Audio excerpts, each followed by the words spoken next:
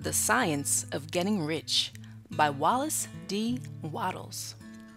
Narrated by BatiYah Barnes, www.batiyah.com.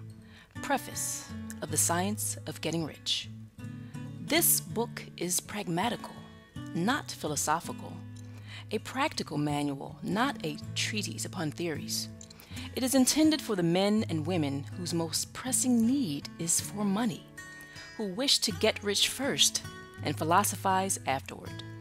It is for those who have so far found neither the time, the means, nor the opportunity to go deeply into the study of metaphysics, but who want results and who are willing to take the conclusions of science as a basis for action, without going into all the processes by which those conclusions were reached. It is expected that the reader will take the fundamental statements upon faith, just as he would take statements concerning a law of electrical action if they were promulgated by a Marconi or an Edison, and taking the statements upon faith that he will prove their truth by acting upon them without fear or hesitation. Every man or woman who does this will certainly get rich, for the science herein applied is an exact science, and failure is impossible. For the benefit, however, of those who wish to investigate philosophical theories and so secure a logical basis for faith, I will here cite certain authorities.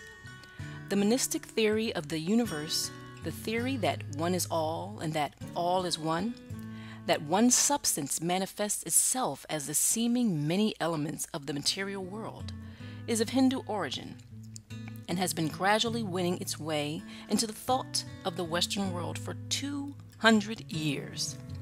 It is the foundation of all the Oriental philosophies and of those of Descartes, Spinoza, Leibniz, Schopenhauer, Hegel, and Emerson. The reader who would dig to the philosophical foundations of this is advised to read Hegel and Emerson for himself. In writing this book, I have sacrificed all other considerations to plainness and simplicity of style, so that all might understand. The plan of action laid down herein was deduced from the conclusions of philosophy. It has been thoroughly tested and bears the supreme test of practical experiment. It works. If you wish to know how the conclusions were arrived at, read the writings of the authors mentioned above.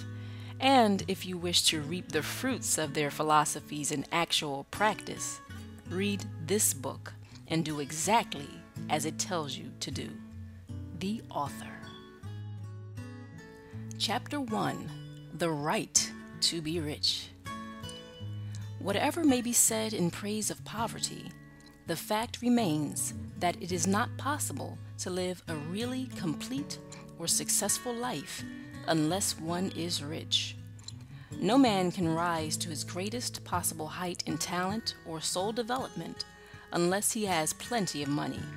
For to unfold the soul and to develop talent, he must have many things to use, and he cannot have these things unless he has money to buy them with. A man develops in mind, soul, and body by making use of things, and society is so organized that man must have money in order to become the possessor of things. Therefore, the basis of all advancement for man must be the science of getting rich. The object of all life is development, and everything that lives has an inalienable right to all the development it is capable of attaining. Man's right to life means his right to have the free and unrestricted use of all the things which may be necessary to his fullest mental, spiritual, and physical unfoldment, or, in other words, his right to be rich. In this book, I shall not speak of riches in a figurative way. To be really rich does not mean to be satisfied or contented with a little. No man ought to be satisfied with a little if he is capable of using and enjoying more. The purpose of nature is the advancement and unfoldment of life, and every man should have all that can contribute to the power, elegance, beauty, and richness of life, to be content with less is sinful. The man who owns all he wants for the living of all the life he is capable of living is rich. And no man who has not plenty of money can have all he wants. Life has advanced so far and become so complex that even the most ordinary man or woman requires a great amount of wealth in order to live in a manner that even approaches completeness. Every person naturally wants to become all that they are capable of becoming. This desire to realize innate possibilities is inherent in human nature. We cannot help wanting to be all that we can be. Success in life is becoming what you want to be. You can become what you want to be only by making use of things. And you can have the free use of things only as you become rich enough to buy them. To understand the science of getting rich is therefore the most essential of all knowledge. There is nothing wrong in wanting to get rich. The desire for riches is really the desire for a richer, fuller, and more abundant life and that desire is praiseworthy. The man who does not desire to live more abundantly is abnormal. And so the man who does not desire to have money enough to buy all he wants is abnormal. There are three motives for which we live we live for the body, we live for the mind, we live for the soul. No one of these is better or holier than the other. All are alike desirable and no one of the three, body, mind, or soul, can live fully if either of the others is cut short of full life and expression. It is not right or noble to live only for the soul and deny mind or body, and it is wrong to live for the intellect and deny body or soul. We are all acquainted with the loathsome consequences of living for the body and denying both mind and soul. And we see that real life means the complete expression of all that man can give forth through body, mind, and soul. Whatever he can say, no man can be really happy or satisfied unless his body is living fully in every function and unless the same is true of his mind and his soul. Wherever there is unexpressed possibility or function not performed, there is unsatisfied desire. Desire is possibility seeking expression or function seeking performance. Man cannot live fully in body without good food, comfortable clothing, and warm shelter, and without freedom from excessive toil. Rest and recreation are also necessary to his physical life. He cannot live fully in mind without books and time to study them, without opportunity for travel and observation, or without intellectual companionship. To live fully in mind, he must have intellectual recreations and must surround himself with all the objects of art and beauty he is capable of using and appreciating.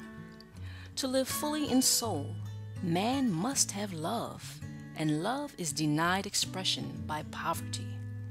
A man's highest happiness is found in the bestowal of benefits on those he loves. Love finds its most natural and spontaneous expression in giving. The man who has nothing to give cannot fill his place as a husband or father, as a citizen or as a man. It is in the use of material things that a man finds full life for his body, develops his mind, and unfolds his soul. It is therefore of supreme importance to him that he should be rich. It is perfectly right that you should desire to be rich. If you are a normal man or woman, you cannot help doing so. It is perfectly right that you should give your best attention to the science of getting rich, for it is the noblest and most necessary of all studies. If you neglect this study, you are derelict in your duty to yourself, to God, and humanity. For you can render to God and humanity no greater service than to make the most of yourself. Chapter 2 There is a Science of Getting Rich. There is a science of getting rich, and it is an exact science, like algebra or arithmetic. There are certain laws which govern the process of acquiring riches. Once these laws are learned and obeyed by any man, he will get rich with mathematical certainty. The ownership of money and property comes as a result of doing things in a certain way. Those who do things in this certain way, whether on purpose or accidentally, get rich, while those who do not do things in this certain way, no matter how hard they work or how able they are, remain poor. It is a natural law that like causes always produce like effects. And therefore, any man or woman who learns to do things in this certain way will infallibly get rich. That the above statement is true is shown by the following facts. Getting rich is not a matter of environment, for if it were, all the people in certain neighborhoods would become wealthy. The people of one city would all be rich, while those of other towns would all be poor. Or the inhabitants of one state would roll in wealth, while those of an adjoining state would be in poverty. But everywhere we see rich and poor living side by side, in the same environment, and often engaged in the same vocations when two men are in the same locality and in the same business, and one gets rich while the other remains poor, it shows that getting rich is not primarily a matter of environment. Some environments may be more favorable than others, but when two men in the same business are in the same neighborhood, and one gets rich while the other fails, it indicates that getting rich is the result of doing things in a certain way. And further, the ability to do things in this certain way is not due solely to the possession of talent, for many people who have great talent remain poor, while others who have very little talent get rich. Studying the people who have got rich, we find that they are an average lot in all respects, having no greater talents and abilities than other men. It is evident that they do not get rich because they possess talents and abilities that other men have not, but because they happen to do things in a certain way. Getting rich is not the result of saving or thrift. Many very penurious people are poor, while free spenders often get rich. Nor is getting rich due to doing things which others fail to do. For two men in the same business often do almost exactly the same things, and one gets rich while the other one remains poor or becomes bankrupt. From all these things, we must come to the conclusion that getting rich is the result of doing things in a certain way. If getting rich is the result of doing things in a certain way, and if like causes always produce like effects, then any man or woman who can do things in that way can become rich. And the whole matter is brought within the domain of exact science. The question arises here whether this certain way may not be so difficult that only a few may follow it. This cannot be true, as we have seen so far as natural ability is concerned. Talented people get rich, and blockheads get rich. Intellectually brilliant people get rich, and very stupid people get rich. Physically strong people get rich, and weak and sickly people get rich. Some degree of ability to think and understand is, of course, essential, but in so far natural ability is concerned, any man or woman who has sense enough to read and understand these words can certainly get rich. Also, we have seen that it is not a matter of environment. Location counts for something. One would not go to the heart of the Sahara and expect to do successful business. Getting rich involves the necessity of dealing with men and of being where there are people to deal with. And if these people are inclined to deal in the way you want to deal, so much the better. but that is about as far as environment goes. If anybody else in your town can get rich, so can you. And if anybody else in your state can get rich, so can. Again, it is not a matter of choosing some particular business or profession. People get rich in every business and in every profession, while their next door neighbors in the same vocation remain in poverty. It is true that you will do best in a business which you like and which is congenial to you. And if you have certain talents which are well developed, you will do best in a business which calls for the exercise of those talents. Also, you will do best in a business which is suited to your locality. An ice cream parlor would do better in a warm climate than in Greenland, and a salmon fishery will succeed better in the Northwest than in Florida, where there are no salmon. But aside from these general limitations, getting rich is not dependent upon your engaging in some particular business, but upon your learning to do things in a certain way.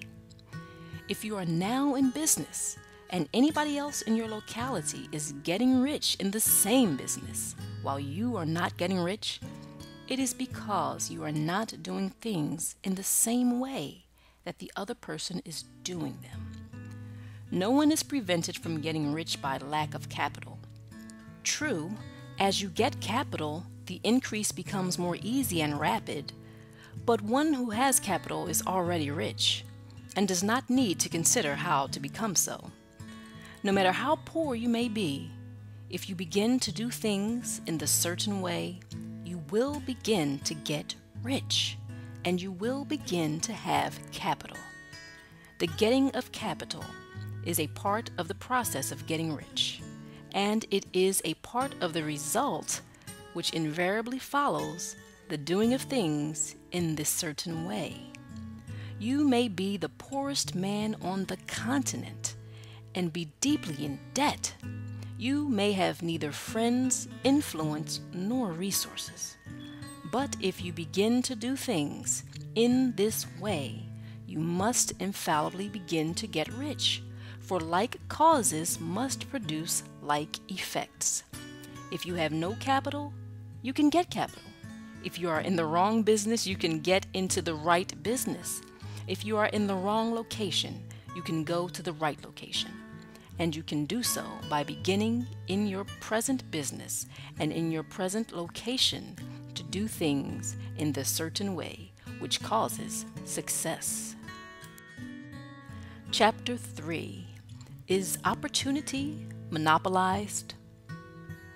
No man is kept poor because opportunity has been taken away from him because other people have monopolized the wealth and have put a fence around it. You may be shut off from engaging in business in certain lines, but there are other channels open to you. Probably it would be hard for you to get control of any of the great railroad systems. That field is pretty well monopolized.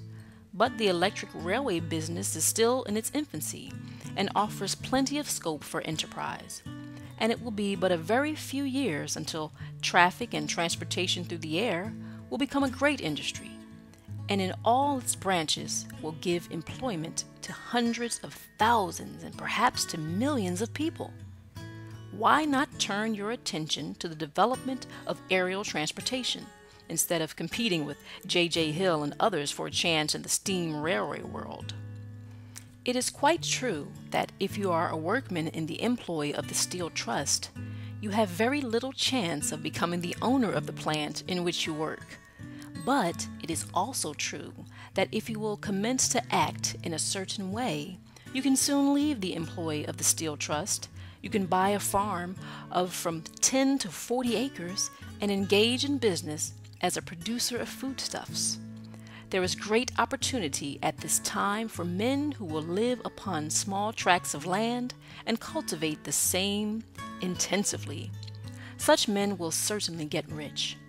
You may say that it is impossible for you to get the land, but I am going to prove to you that it is not impossible, and that you can certainly get a farm if you will go to work in a certain way At different periods, the tide of opportunity sets in different directions according to the needs of the whole and the particular stage of social evolution which has been reached. At present in America, it is setting toward agriculture and the allied industries and professions. Today, opportunity is open before the factory worker in his line. It is open before the businessman who supplies the farmer more than before the one who supplies the factory worker, and before the professional man who waits upon the farmer more than before the one who serves the working class. There is abundance of opportunity for the man who will go with the tide instead of trying to swim against it. So the factory workers, either as individuals or as a class, are not deprived of opportunity. The workers are not being kept down by their masters. They are not being ground by the trusts and combinations of capital. As a class, they are where they are because they do not do things in a certain way. If the workers of America chose to do so, they could follow the example of their brothers in Belgium and other countries and establish great department stores and cooperative industries. They could elect men of their own class to office and pass laws favoring the development of such cooperative industries. And in a few years, they could take peaceable possession of the industrial field. The working class may become the master class whenever they begin to do things in a certain way. The law of wealth is the same for them as it is for all others.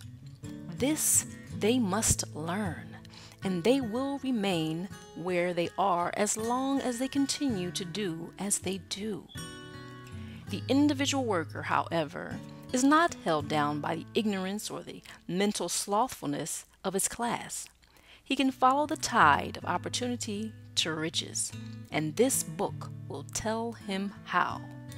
There is no one enough kept in poverty by a, a palace as large as the Capitol at Washington might be built for every family on earth from the building material in the United States alone. And under intensive cultivation, this country would produce wool, cotton, linen, and silk enough to clothe each person in the world finer than Solomon was arrayed in all his glory, together with food enough to feed them all luxuriously.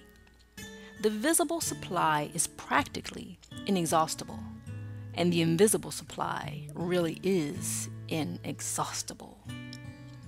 Everything you see on earth is made from one original substance, out of which all things proceed. New forms are constantly being made, and older ones are dissolving, but all are shapes assumed by one thing. There is no limit to the supply of formless stuff or original substance. The universe is made out of it, but it was not all used in making the universe. The spaces in, through, and between the forms of the visible universe are permeated and filled with the original substance, with the formless stuff, with the raw material of all things. Ten thousand times as much as has been made might still be made, and even then we should not have exhausted the supply of universal raw material. No man, therefore, is poor because nature is poor, or because there is not enough to go around. Nature is an inexhaustible storehouse of riches. The supply will never run short. Original substance is alive with creative energy and is constantly producing more forms. When the supply of building material is exhausted, more will be produced. When the soil is exhausted so that foodstuffs and materials for clothing will no longer grow upon it, it will be renewed, or more soil will be made when all the gold and silver has been dug from the earth, if man is still in such a stage of social development that he needs gold and silver, more will be produced from the formless. The formless stuff responds to the needs of man. It will not let him be without any good thing. This is true of man collectively. The race as a whole is always abundantly rich And if individuals are poor, it is because they do not follow the certain way of doing things which makes the individual man rich. The formless stuff is intelligent. It is stuff which thinks. It is alive, and it is always impelled toward more life. It is a natural and inherent impulse of life to seek to live more. It is the nature of intelligence to enlarge itself, and of consciousness to seek to extend its boundaries and find fuller expression. The universe of forms has been made by formless living substance, throwing itself into form in order to express itself more fully. The universe is a great living presence, always moving inherently toward more life and fuller functioning. Nature is formed for the advancement of life. Its impelling motive is the increase of life. For this cause, everything which can possibly minister to life is bountifully provided. There can be no lack unless God is to contradict himself and nullify his own works. You are not kept poor by lack in the supply of riches. It is a fact which I shall demonstrate a little farther on that even the resources of the formless supply are at the command of the man or woman who will act and think in a certain way.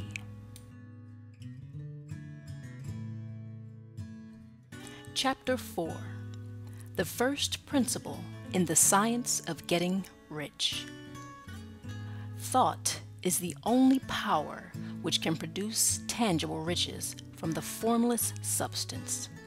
The stuff from which all things are made is a substance which thinks, and the thought of form in this substance produces the form.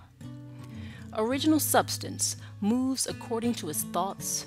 Every form and process you see in nature is the visible expression of a thought in original substance. As the formless stuff thinks of a form, it takes that form. As it thinks of a motion, it makes that motion. That is the way all things were created. We live in a thought world, which is part of a thought universe. The thought of a moving universe extended throughout formless substance, and the thinking stuff moving according to that thought, took the form of systems of planets and maintains that form. Thinking substance takes the form of its thought and moves according to the thought. Holding the idea of a circling system of suns and worlds, it takes the form of these bodies and moves them as it thinks. Thinking the form of a slow growing oak tree it moves accordingly and produces the tree, though centuries may be required to do the work. In creating, the formless seems to move according to the lines of motion it has established. The thought of an oak tree does not cause the instant form of a full grown tree, but it does start in motion the forces which will produce the tree along with established lines of growth. Every thought of form held in thinking substance causes the creation of the form, but always, or at least generally, along lines of growth and action already established. The thought of a house of a certain construction, if it were impressed upon the formless substance, might not cause the instant formation of the house, but it would cause the turning of creative energies already working in trade and commerce into such channels as to result in the speedy building of the house. And if there were no existing channels through which the creative energy could work, then the house would be formed directly from primal substance, without waiting for the slow processes of the organic and inorganic world. No thought of form can be impressed upon original substance without causing the creation of the form. Man is a thinking center and can originate thought. All the forms that man fashions with his hands must first exist in his thought. He cannot shape a thing until he has thought that thing. And so far, man has confined his efforts wholly to the work of his hands.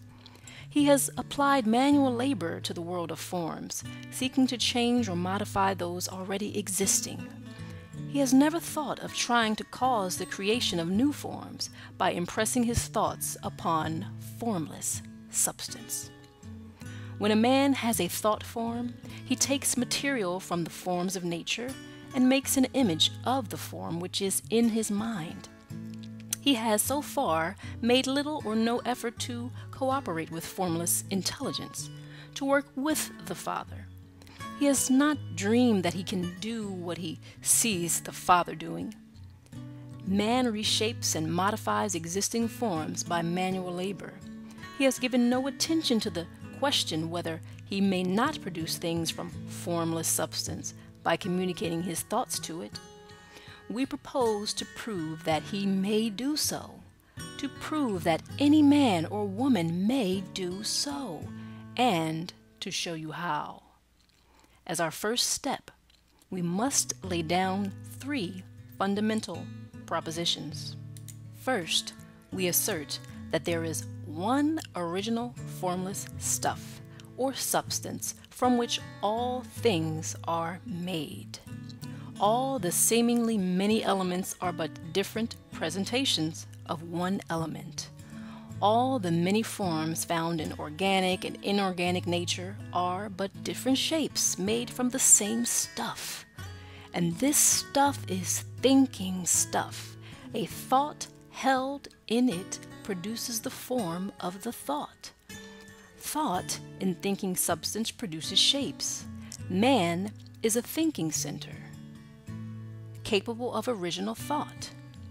If man can communicate his thought to original thinking substance, he can cause the creation or formation of the thing he thinks about. To summarize this, there is a thinking stuff from which all things are made and which, in its original state, permeates, penetrates, and fills the interspaces of the universe. A thought in its substance produces the thing that is imaged by the thought. Man can form things in his thought, and by impressing his thought upon formless substance, can cause the thing he thinks about to be created. It may be asked if I can prove these statements, and without going into detail, I answer that I can do so both by logic and experience. Reasoning back from the phenomena of form and thought, I come to one original thinking substance, and reasoning forward from this thinking substance, I come to a man's power to cause the formation of the thing he thinks about.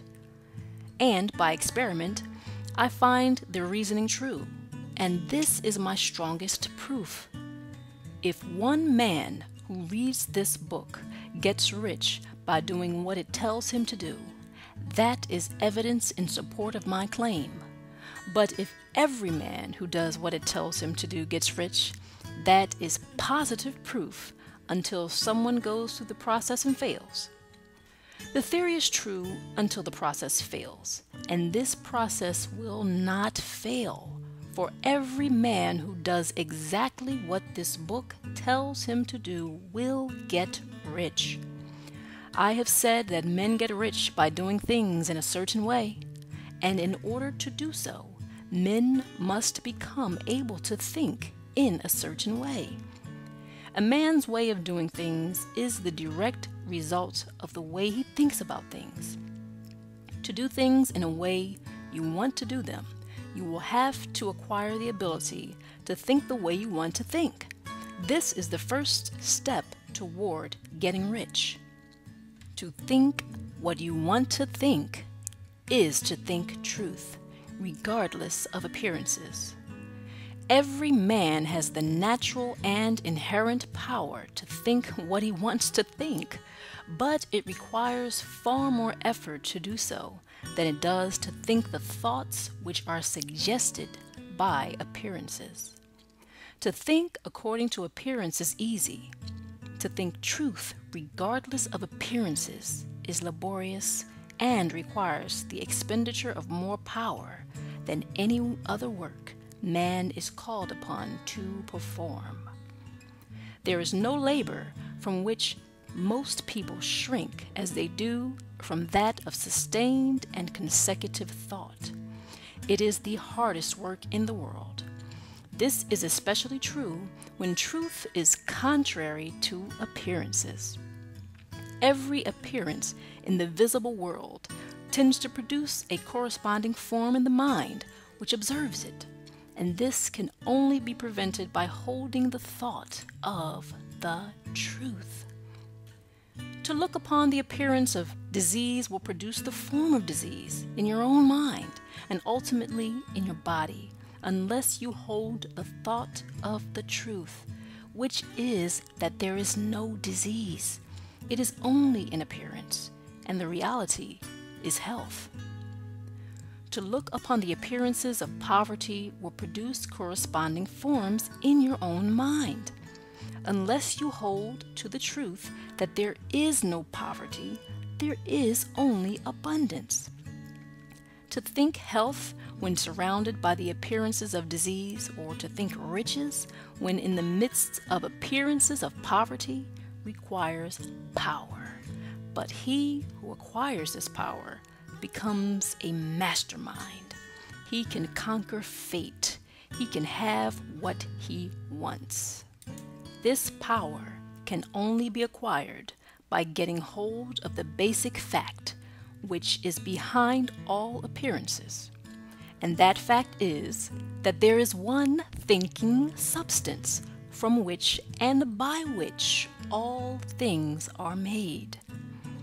Then we must grasp the truth that every thought held in this substance becomes a form, and that man can so impress his thoughts upon it as to cause them to take form and become visible things. When we realize this, we lose all doubt and fear, for we know that we can create what we want to create. We can get what we want to have and can become what we want to be. As a first step toward getting rich, you must believe the three fundamental statements given previously in this chapter. And in order to emphasize them, I repeat them here. There is a thinking stuff from which all things are made, and which, in its original state, permeates, penetrates, and fills the interspaces of the universe. A thought, in its substance, produces the thing that is imaged by the thought. Man can form things in his thought, and by impressing his thought upon formless substance, can cause the thing he thinks about to be created. You must lay aside all other concepts of the universe than this monistic one and you must dwell upon this until it is fixed in your mind and has become your habitual thought. Read these creed statements over and over again. Fix every word upon your memory and meditate upon them until you firmly believe what they say. If a doubt comes to you, cast it aside as a sin do not listen to arguments against this idea. Do not go to churches or lectures where a contrary concept of things is taught or preached. Do not read magazines or books which teach a different idea. If you get mixed up in your faith, all your efforts will be in vain. Do not ask why these things are true, nor speculate as to how they can be true. Simply take them on trust. The science of getting rich begins with the absolute acceptance of this faith.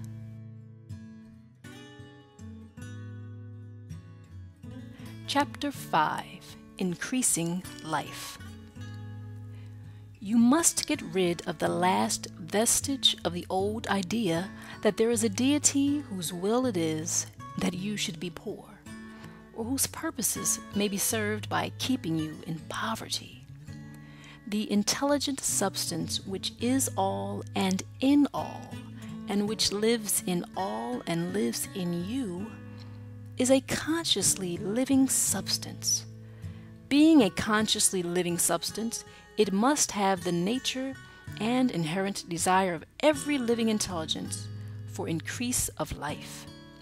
Every living thing must continually seek for the enlargement of its life because life, in the mere act of living, must increase itself. A seed dropped into the ground springs into activity, and in the act of living produces a hundred more seeds. Life, by living, multiplies itself. It is forever becoming more. It must do so if it continues to be at all. Intelligence is under this same necessity for continuous increase. Every thought we think makes it necessary for us to think another thought. Consciousness is continually expanding. Every fact we learn leads us to the learning of another fact. Knowledge is continually increasing. Every talent we cultivate brings to the mind the desire to cultivate another talent. We are subject to the urge of life seeking expression, which ever drives us on to know more, to do more, and to be more.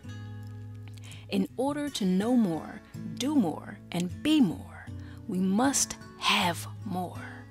We must have things to use, for we learn and do and become only by using things. We must get rich so that we can live more. The desire for riches is simply the capacity for larger life seeking fulfillment. Every desire is the effort of an unexpressed possibility to come into action. It is power seeking to manifest which causes desire. That which makes you want more money is the same as that which makes the plant grow. It is life seeking fuller expression. The one living substance must be subject to this inherent law of all life. It is permeated with the desire to live more. That is why it is under the necessity of creating things the one substance desires to live more in you. Hence, it wants you to have all the things you can use. It is the desire of God that you should get rich.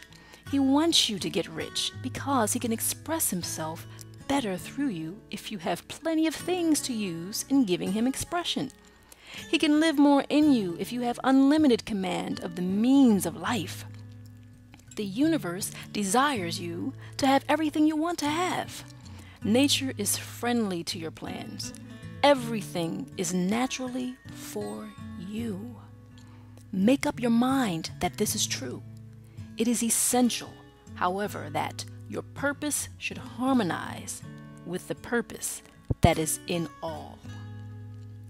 You must want real life, not mere pleasure of sensual gratification. Life is the performance of function, and the individual really lives only when he performs every function, physical, mental, and spiritual, of which he is capable, without excess in any. You do not want to get rich in order to live swinishly for the gratification of animal desires. That is not life. But the performance of every physical function is a part of life and no one lives completely who denies the impulses of the body a normal and healthful expression. You do not want to get rich solely to enjoy mental pleasures, to get knowledge, to gratify ambition, to outshine others, to be famous. All these are a legitimate part of life, but the man who lives for the pleasures of the intellect alone will only have a partial life, and he will never be satisfied with his lot. You do not want to get rich solely for the good of others, to lose yourself for the salvation of mankind, to experience the joys of philanthropy and sacrifice. The joys of the soul are only a part of life, and they are no better or nobler than any other part. You want to get rich in order that you may eat, drink, and be merry when it is time to do these things. in order that you may surround yourself with beautiful things, see distant lands, feed your mind, and develop your intellect, in order that you may love men and do kind things, and be able to play a good part in helping the world to find truth. But remember that extreme altruism is no better and no nobler than extreme selfishness. Both are mistakes. Get rid of the idea that God wants you to sacrifice yourself for others and that you can secure His favor by doing so. God requires nothing of the kind. What He wants is that you should make the most of yourself for yourself and for others. And you can help others more by making the most of yourself than in any other way. You can make the most of yourself only by getting rich. So it is right and praiseworthy that you should give your first and best thought to the work of acquiring wealth. Remember, however, that the desire of substance is for all, and its movements must be for more life to all.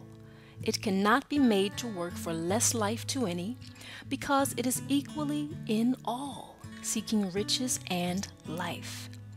Intelligent substance will make things for you, but it will not take things away from someone else and give them to you. You must get rid of the thought of competition. You are to create, not to compete for what is already created. You do not have to take anything away from anyone. You do not have to drive sharp bargains. You do not have to cheat or to take advantage. You do not need to let any man work for you for less than he earns. You do not have to covet the property of others or to look at it with wishful eyes. No man has anything of which you cannot have the like, and that without taking what he has away from him. You are to become a creator, not a competitor. You are going to get what you want but in such a way that when you get it, every other man will have more than he has now. I am aware that there are men who get a vast amount of money by proceeding in direct opposition to the statements in the paragraph above, and may add a word of explanation here. Men of the plutocratic type who become very rich do so sometimes purely by their extraordinary ability on the plane of competition. And sometimes they unconsciously relate themselves to substance in its great purposes and movements for the general racial upbuilding through industrial evolution. Rockefeller, Carnegie, Morgan, et al. Have been the unconscious agents of the supreme in the necessary work of systematizing and organizing productive industry. And in the end, their work will contribute immensely toward increased life for all. Their day is nearly over. They have organized production and will soon be succeeded by the agents of the multitude who will organize the machinery of distribution. The multimillionaires are like the monster reptiles of the prehistoric eras. They play a necessary part in the evolutionary process, but the same power which produced them will dispose of them. And it is well to bear in mind that they have never been really rich. A record of the private lives of most of this class will show that they have really been the most abject and wretched of the poor. Riches secured on the competitive plane are never satisfactory and permanent.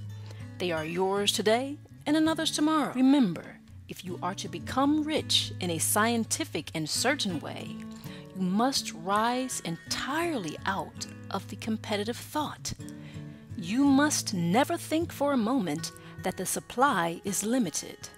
Just as soon as you begin to think that all the money is being cornered and controlled by bankers and others, and that you must exert yourself to get laws passed to stop this process and so on, in that moment you drop into the competitive mind and your power to cause creation is gone for the time being. And what is worse, you will probably arrest the creative movements you have already instituted. Know that there are countless millions of dollars worth of gold in the mountains of the earth, not yet brought to light. And know that if there were not, more would be created from thinking substance to supply your needs. Know that the money you need will come, even if it is necessary for a thousand men to be led to the discovery of new gold mines tomorrow. Never look at the visible supply. Look always at the limitless riches in formless substance and know that they are coming to you as fast as you can receive and use them.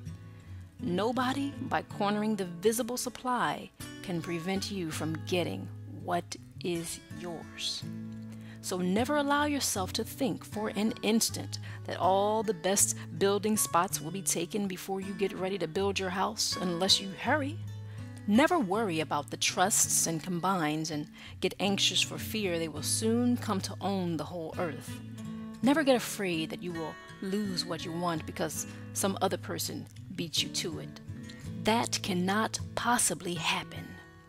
You are not seeking anything that is possessed by anybody else. You are causing what you want to be created from formless substance, and the supply is without limits. Stick to the formulated statement. There is a thinking stuff from which all things are made, and which, in its original state, permeates, penetrates, and fills the interspaces of the universe. A thought in this substance produces the thing that is imaged by the thought. Man can form things in his thought, and by impressing his thought upon formless substance, can cause the thing he thinks about to be created. Chapter 6 How Riches Come to You. When I say that you do not have to drive sharp bargains, I do not mean that you do not have to drive any bargains at all, or that you are above the necessity for having any dealings with your fellow men. I mean that you will not need to deal with them unfairly. You do not have to get something for nothing, but can give to every man more than you take from him. You cannot give every man more in cash market value than you take from him, but you can give him more in use value than the cash value of the thing you take from him. The paper, ink, and other material in this book may not be worth the money you pay for it, but if the ideas suggested by it bring you thousands of dollars, you have not been wronged by those who sold it to you. They have given you a great use value for a small cash value. Let us suppose that I own a picture by one of the great artists, which in any civilized community is worth thousands of dollars. I take it to Baffin Bay and, by salesmanship, induce an Eskimo to give a bundle of furs worth $500 for it. I have really wronged him, for he has no use for the picture. It has no use value to him and it will not add to his life. But suppose I give him a gun worth $50 for his furs. Then he has made a good bargain. He has use for the gun. It will get him many more furs and much food. It will add to his life in every way. It will make him rich. When you rise from the competitive to the creative plane, you can scan your business transactions very strictly. And if you are selling any man anything which does not add more to his life than the thing he gives you in exchange, you can afford to stop it. You do not have to beat anybody in business. And if you are in a business which does beat people, get out of it at once. Give every man more in use value than you take from him in cash value. Then you are adding to the life of the world by every business transaction. If you have people working for you, you must take from them more in cash value than you pay them in wages. But you can so organize your business that it will be filled with the principle of advancement, and so that each employee who wishes to do so may advance a little every day. You can make your business do for your employees what this book is doing for you. You can so conduct your business that it will be a sort of ladder by which every employee who will take the trouble may climb to riches himself, and given the opportunity. If he will not do so, it is not your fault. And finally, because you are to cause the creation of your riches from formless substance which permeates all your environment, it does not follow that they are to take shape from the atmosphere and come into being before your eyes. If you want a sewing machine, for instance, I do not mean to tell you that you are to impress the thought of a sewing machine on thinking substance until the machine is formed without hands in the room where you sit or elsewhere. But if you want a sewing machine, hold the mental image of it with the most positive certainty that it is being made or is on its way to you.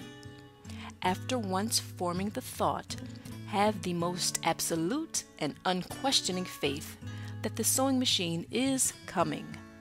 Never think of it or speak of it in any other way than as being sure to arrive. Claim it as already yours.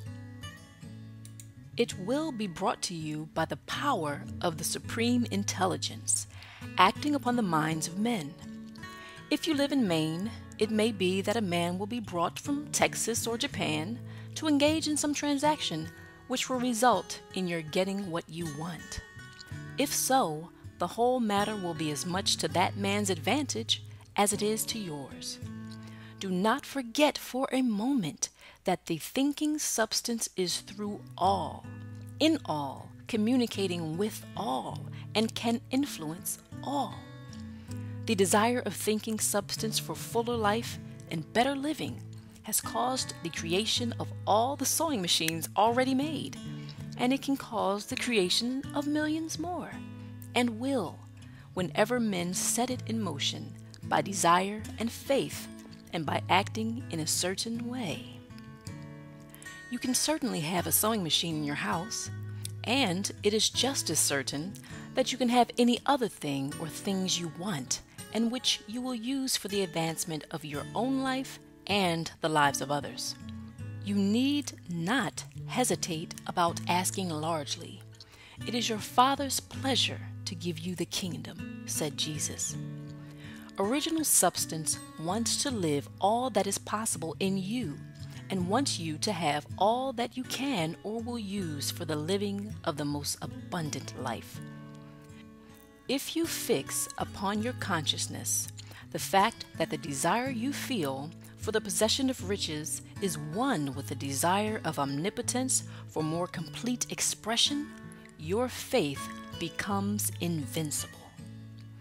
Once I saw a little boy sitting at a piano and vainly trying to bring harmony out of the keys, and I saw that he was grieved and provoked by his inability to play real music. I asked him the cause of his vexation, and he answered, I can feel the music in me, but I can't make my hands go right. The music in him was the urge of original substance, containing all the possibilities of all life. All that there is of music was seeking expression through the child. God, the one substance, is trying to live and do and enjoy things through humanity. He is saying, I want hands to build wonderful structures, to play divine harmonies, to paint glorious pictures. I want feet to run my errands, eyes to see my beauties, tongues to tell mighty truths, and to sing marvelous songs, and so on. All that there is of possibility is seeking expression through men. God wants those who can play music to have pianos and every other instrument and to have the means to cultivate their talents to the fullest extent. He wants those who can appreciate beauty to be able to surround themselves with beautiful things. He wants those who can discern truth to have every opportunity to travel and observe. He wants those who can appreciate dress to be beautifully clothed, and those who can appreciate good food to be luxuriously fed. He wants all these things because it's Himself that enjoys and appreciates them. It is God who wants to play and sing and enjoy beauty and proclaim truth and wear fine clothes and eat good foods.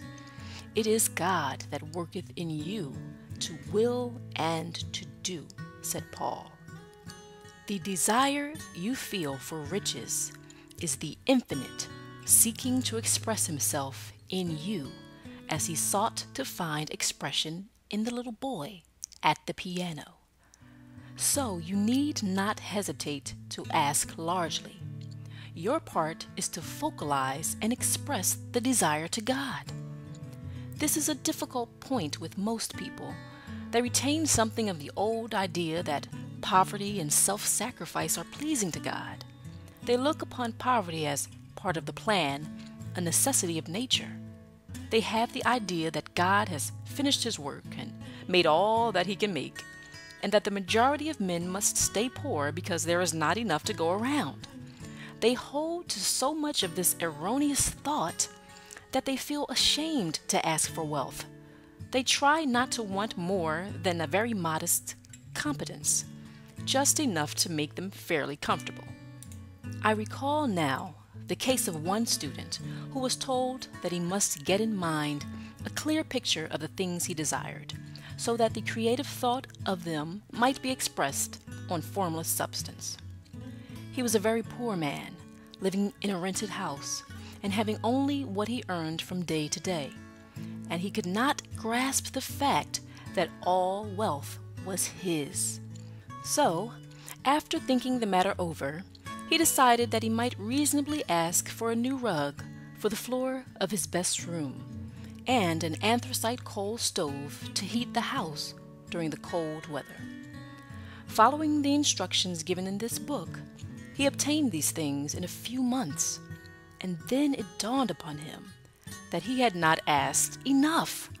He went through the house in which he lived and planned all the improvements he would like to make in it.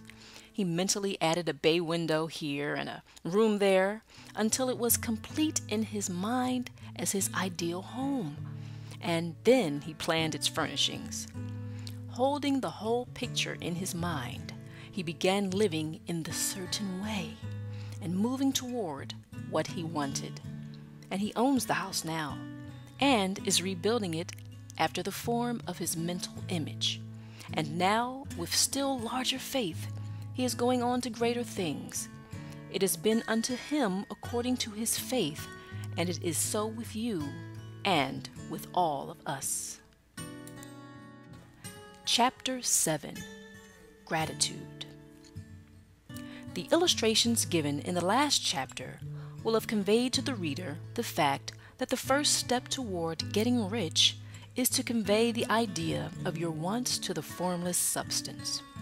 This is true, and you will see that in order to do so, it becomes necessary to relate yourself to the formless intelligence in a harmonious way. To secure this harmonious relation is a matter of such primary and vital importance that I shall give some space to its discussion here, and give you instructions which, if you will follow them, will be certain to bring you into perfect unity of mind with God the whole process of mental adjustment and atonement can be summed up in one word gratitude. First, you believe that there is one intelligent substance from which all things proceed. Second, you believe that this substance gives you everything you desire. And third, you relate yourself to it by a feeling of deep and profound gratitude.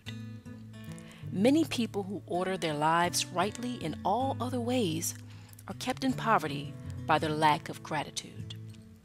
Having received one gift from God, they cut the wires which connect them with Him by failing to make acknowledgement. It is easy to understand that the nearer we live to the source of wealth, the more wealth we shall receive. And it is easy also to understand that the soul that is always grateful lives in closer touch with God than the one which never looks to Him in thankful acknowledgement. The more gratefully we fix our minds on the Supreme when good things come to us, the more good things we will receive, and the more rapidly they will come. And the reason simply is that the mental attitude of gratitude draws the mind into closer touch with the source from which the blessings come. If it is a new thought to you that gratitude brings your whole mind into closer harmony with the creative energies of the universe, consider it well, and you will see that it is true. The good things you already have have come to you along the line of obedience to certain laws. Gratitude will lead your mind out along the ways by which things come, and it will keep you in close harmony with creative thought and prevent you from falling into competitive thought. Gratitude alone can keep you looking toward the all and prevent you from falling into the error of thinking of the supply is limited, and to do that would be fatal to your hopes. There is a law of gratitude, and it is absolutely necessary that you should observe the law if you are to get the results you seek. The law of gratitude is the natural principle that action and reaction are always equal and in opposite directions. The grateful outreaching of your mind in thankful praise to the Supreme is a liberation or expenditure of force. It cannot fail to reach that to which it addressed, and the reaction is an instantaneous movement toward you. Draw nigh unto God, and he will draw nigh unto you. That is a statement of psychological truth. And if your gratitude is strong and constant, the reaction in formless substance will be strong and continuous. The movement of the things you want will be always toward you. Notice the grateful attitude that Jesus took. How he always seems to be saying, I thank thee, Father, that thou hearest me.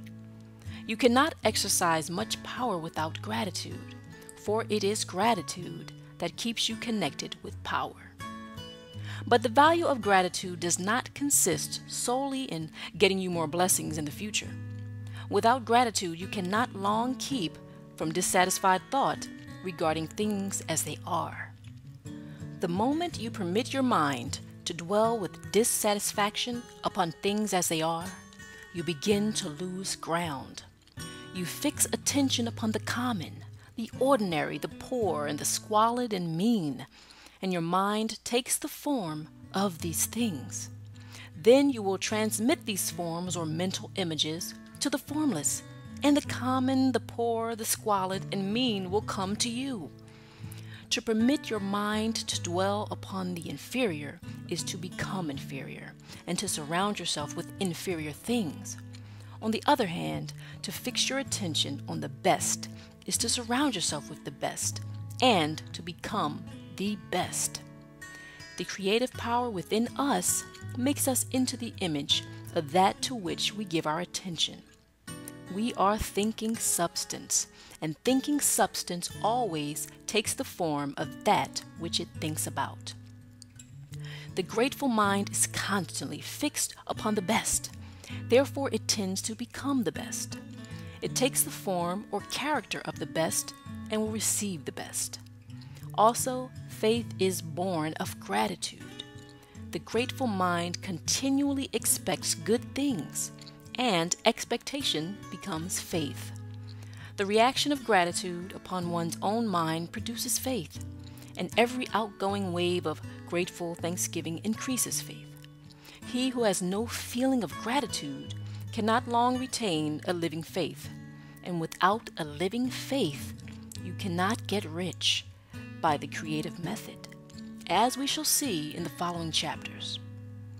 It is necessary then to cultivate the habit of being grateful for every good thing that comes to you, and to give thanks continuously. And because all things have contributed to your advancement, you should include all things in your gratitude. Do not waste time thinking or talking about the shortcomings or wrong actions of plutocrats or trust magnates. Their organization of the world has made your opportunity. All you get really comes to you because of them. Do not rage against corrupt politicians. If it were not for politicians, we would fall into anarchy, and your opportunity would be greatly lessened. God has worked a long time and very patiently to bring us up to where we are in industry and government, and He is going right on with His work. There is not the least doubt that He will do away with plutocrats, trust magnates, captains of industry, and politicians as soon as they can be spared. But in the meantime, behold, they are all very good. Remember that they are all helping to arrange the lines of transmission along which your riches will come to you, and be grateful to them all. This will bring you into harmonious relations with the good in everything, and the good in everything will move toward you. Chapter 8 Thinking in the Certain Way Turn back to chapter 6 and read again the story of the man who formed a mental image of his house, and you will get a fair idea of the initial step toward getting rich. You must form a clear and definite mental picture of what you want. You cannot transmit an idea unless you have it yourself. You must have it before you can give it. And many people fail to impress thinking substance because they have themselves only a vague and misty concept of the things they want to do, to have, or to become. It is not enough that you should have a general desire for wealth to do good with. Everybody has that desire. It is not enough that you should have a wish to travel, see things, live more, etc. Everybody has those desires also. If you were going to send a wireless message to a friend, you would not send the letters of the alphabet in their order and let him construct the message for himself, nor would you take words at random from the dictionary. You would send a coherent sentence, one which meant something. When you try to impress your wants upon substance, remember that it must be done by a coherent statement. You must know what you want and be definite.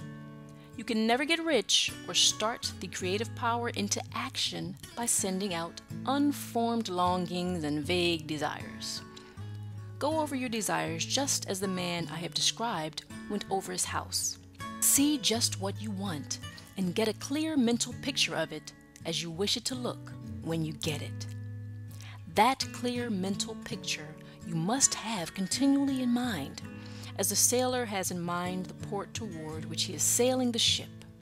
You must keep your face toward it. It is not necessary to take exercises you must concentration, no sight of nor to set apart special times for prayer sight and affirmation, nor to go into silence, nor to do occult stunts of any kind. Those things are well enough, but all you need is to know what you want and to want it badly enough so that it will stay in your thoughts. Spend as much of your leisure time as you can in contemplating your picture. But no one needs to take exercises to concentrate his mind on a thing which he really wants. It is the things you do not really care about which require effort to fix your attention upon them.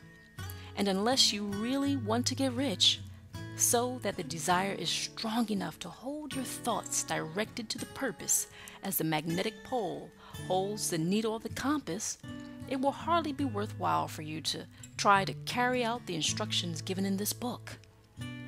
The methods herein set forth are for people whose desire for riches is strong enough to overcome mental laziness and the love of ease and make them work.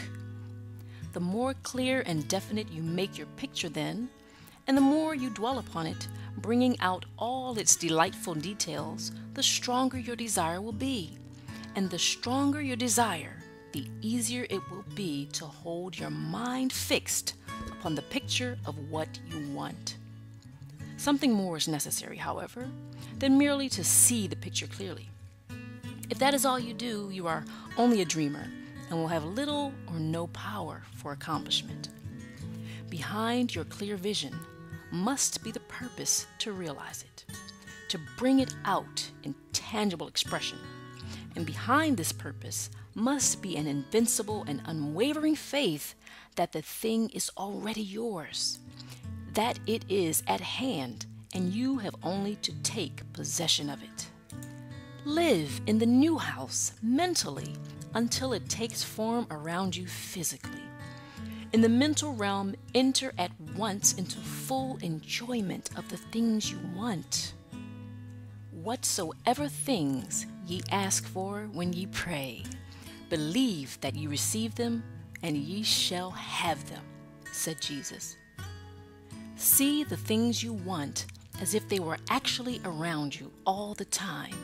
See yourself as owning and using them. Make use of them in imagination just as you will use them when they are your tangible possessions. Dwell upon your mental picture until it is clear and distinct, and then take the mental attitude of ownership toward everything in that picture. Take possession of it in mind, in the full faith that it is actually yours. Hold to this mental ownership. Do not waver for an instant in the faith that it is real. And remember what was said in a preceding chapter about gratitude. Be as thankful for it all the time as you expect to be when it has taken form. The man who can sincerely thank God for the things which as yet he owns only in imagination has real faith. He will get rich. He will cause the creation of whatsoever he wants. You do not need to pray repeatedly for things you want. It is not necessary to tell God about it every day. Use not vain repetitions as the heathen do, said Jesus to his pupils. For your Father knoweth that ye have need of these things before ye ask him. Your part is to intelligently formulate your desire for the things which make for a larger life, and to get these desires arranged into a coherent whole. And then to impress this whole desire upon the formless substance, which has the power and the will to bring you what you want. You do not make this impression by repeating strings of words. You make it by holding the vision with unshakable purpose to attain it, and with steadfast faith that you do attain it. The answer to prayer is not according to your faith while you are talking but according to your faith while you are working. You cannot impress the mind of God by having a special Sabbath day set apart to tell Him what you want, and then forgetting Him during the rest of the week. You cannot impress Him by having special hours to go into your closet and pray, if you then dismiss the matter from your mind until the hour of prayer comes again. Oral prayer is well enough and has its effect, especially upon yourself in clarifying your vision and strengthening your faith. But it is not your oral petitions which get you what you want. In order to get rich, you do not need a sweet hour of prayer. You need to pray without ceasing. And by prayer, I mean holding steadily to your vision with the purpose to cause its creation into solid form and the faith that you are doing so. Believe that ye receive them. The whole matter turns on receiving. Once you have clearly formed your vision, when you have formed it, it is well to make an oral statement addressing the Supreme in reverent prayer. And from that moment, you must, in mind, receive what you ask for. Live in the new house, wear the fine clothes, ride in the automobile, go on the journey, and confidently plan for greater journeys. Think and speak of all the things you have asked for in terms of actual present ownership. Imagine an environment and a financial condition exactly as you want them, and live all the time in that imaginary environment and financial condition. Mind, however, that you do not do this as a mere dreamer and castle builder hold to the faith that the imaginary is being realized and to the purpose to realize it. Remember that it is faith and purpose in the use of the imagination which make the difference between the scientist and the dreamer. And having learned this fact, it is here that you must learn the proper use of the will. Chapter 9 How to Use the Will. To set about getting rich in a scientific way, you do not try to apply your willpower to anything outside of yourself. You have no right to do so anyway.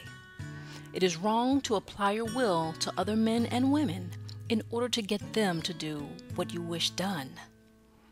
It is as flagrantly wrong to coerce people by mental power as it is to coerce them by physical power.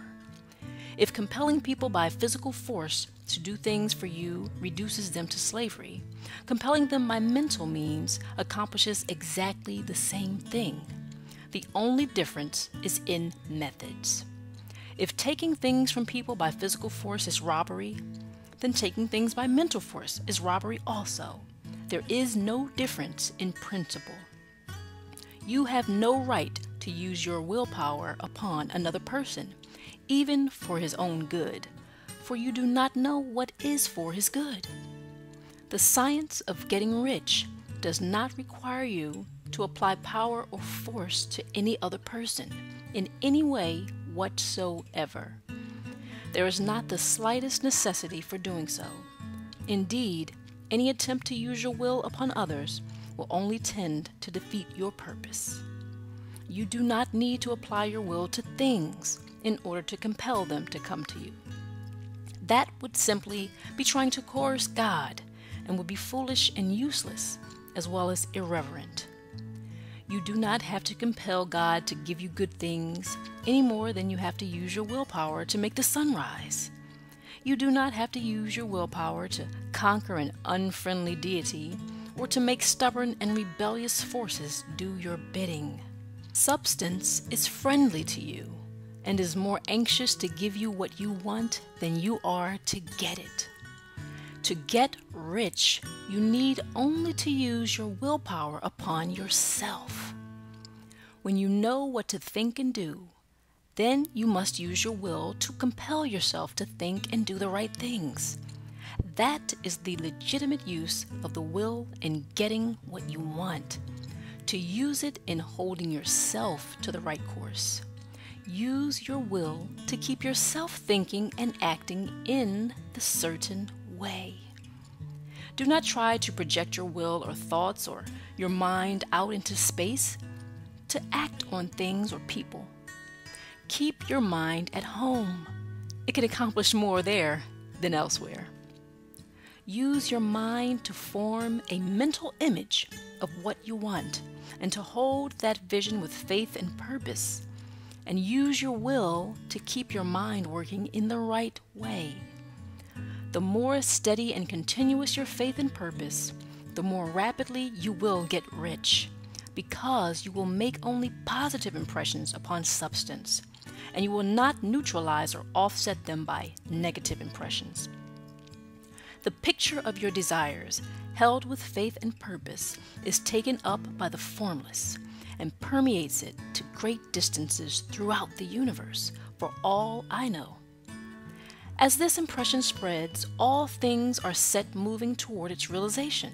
Every living thing, every inanimate thing, and the things yet uncreated are stirred toward bringing into being that which you want. All force begins to be exerted in that direction. All things begin to move toward you. The minds of people everywhere are influenced toward doing the things necessary to the fulfilling of your desires, and they work for you unconsciously. But you can check all this by starting a negative impression in the formless substance. Doubt or unbelief is as certain to start a movement away from you as faith and purpose are to start one toward you.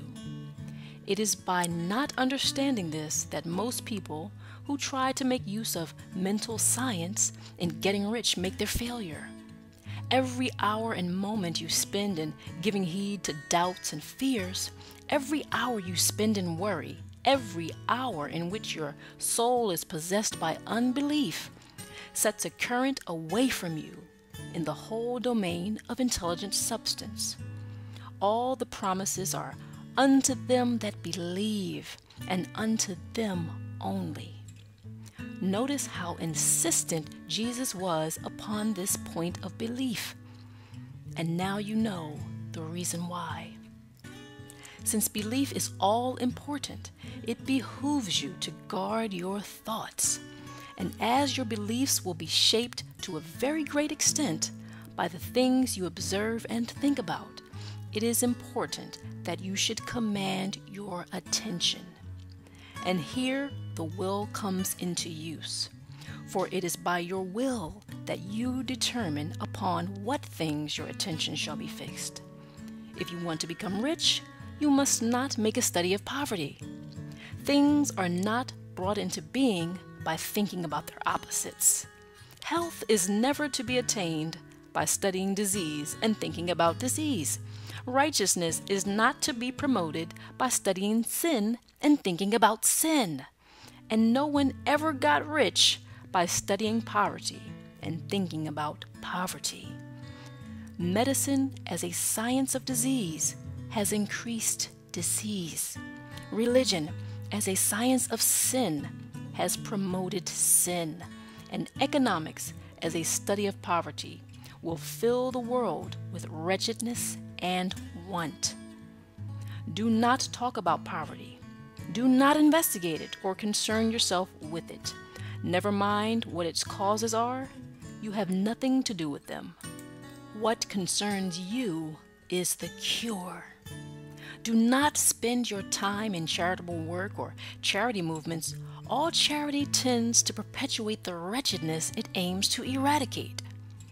I do not say that you should be hard hearted or unkind and refuse to hear the cry of need, but you must not try to eradicate poverty in any of the conventional ways. Put poverty behind you and put all that pertains to it behind you and make good. Get rich. That is the best way you can help the poor. And you cannot hold the mental image which is to make you rich if you fill your mind with pictures of poverty. Do not read books or papers which give circumstantial accounts of the wretchedness of the tenement dwellers, of the horrors of child labor, and so on. Do not read anything which fills your mind with gloomy images of want and suffering.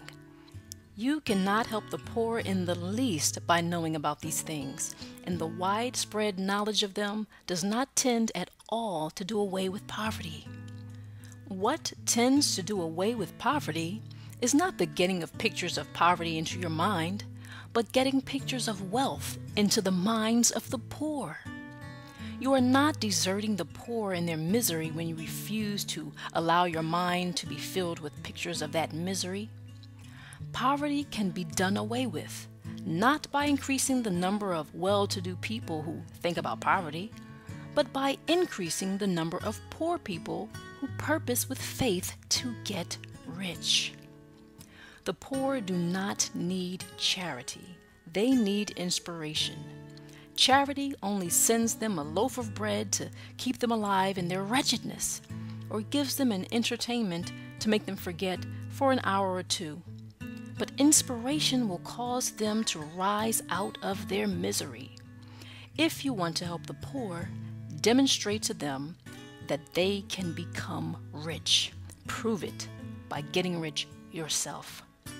The only way in which poverty will ever be banished from this world is by getting a large and constantly increasing number of people to practice the teachings of this book people must be taught to become rich by creation, not by competition. Every man who becomes rich by competition throws down behind him the ladder by which he rises and keeps others down. But every man who gets rich by creation opens a way for thousands to follow him and inspires them to do so. you are not showing hardness of heart or an unfeeling disposition when you refuse to pity poverty, see poverty, read about poverty, or think or talk about it, or to listen to those who do talk about it. Use your willpower to keep your mind off the subject of poverty and to keep it fixed with faith and purpose on the vision of what you want. Chapter 10 Further Use of the Will. You cannot retain a true and clear vision of wealth if you are constantly turning your attention to opposing pictures, whether they be external or imaginary. Do not tell of your past troubles of a financial nature. If you have had them, do not think of them at all. Do not tell of the poverty of your parents or the hardships of your early life. To do any of these things is to mentally class yourself with the poor for the time being, and it will certainly check the movement of things in your direction.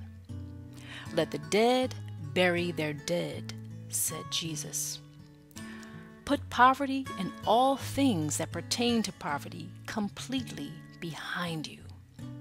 You have accepted a certain theory of the universe as being correct and are resting all your hopes of happiness on its being correct. And what can you gain by giving heed to conflicting theories? Do not read religious books which tell you that the world is soon coming to an end, and do not read the writings of muckrakers and pessimistic philosophers who tell you that it is going to the devil. The world is not going to the devil, it is going to God. It is wonderful becoming. True, there may be a good many things in existing conditions which are disagreeable. But what is the use of studying them when they are certainly passing away? And when the study of them only tends to check their passing and keep them with us? Why give time and attention to things which are being removed by evolutionary growth when you can hasten their removal only by promoting the evolutionary growth as far as your part of it goes. No matter how horrible in seeming may be the conditions in certain countries, sections, or places, you waste your time and destroy your own chances by considering them. You should interest yourself in the world's becoming rich. Think of the riches the world is coming into instead of the poverty it is growing out of, and bear in mind that the only way in which you can assist the world in growing rich is by growing rich yourself through the creative method, not the competitive one. Give your attention wholly to riches. Ignore poverty. Whenever you think or speak of those who are poor, Think and speak of them as those who are becoming rich, as those who are to be congratulated rather than be pitied. Then they and others will catch the inspiration and begin to search for the way out. Because I say that you are to give your whole time and mind and thought to riches, it does not follow that you are to be sordid or mean. To become really rich is the noblest aim you can have in life for it includes everything else. On the competitive plane, the struggle to get rich is a godless scramble for power over other men. But when we come into the creative mind, all this is changed. All that is possible in the way of greatness and soul unfoldment, of service and lofty endeavor, comes by way of getting rich. All is made possible by the use of things. If you lack for physical health, you will find that the attainment of it is conditional on your getting rich. Only those who are emancipated from financial worry and who have the means to live a carefree existence and follow hygienic practices can have and retain health. Moral and spiritual greatness is possible only to those who are above the competitive battle for existence and only those who are becoming rich on the plane of creative thought are free from the degrading influences of competition. If your heart is set on domestic happiness, remember that love flourishes best where there is refinement, a high level of thought, and freedom from corrupting influences. And these are to be found only where riches are attained by the exercise of creative thought, without strife or rivalry. You can aim at nothing so great or noble, I repeat, as to become rich, and you must fix your attention upon your mental picture of riches to the exclusion of all that may tend to dim or obscure the vision. You must learn to see the underlying truth in all things. You must see beneath all seemingly wrong conditions the great one life ever moving forward toward fuller expression and more complete happiness. It is the truth that there is no such thing as poverty, that there is only wealth. Some people remain in poverty because they are ignorant of the fact that there is wealth for them, and these can best be taught by showing them the way to affluence in your own person and practice. Others are poor because while they feel that there is a way out, they are too intellectually indolent to put forth the mental effort necessary to find that way and travel by it. And for these, the very best thing you can do is to arouse their desire by showing them the happiness that comes from being rightly rich. Others still are poor because, while they have some notion of science, they have become so swamped and lost in the maze of metaphysical and occult theories that they do not know which road to take. They try a mixture of many systems and fail in all. For these, again, the very best thing to do is show the right way in your own person and practice.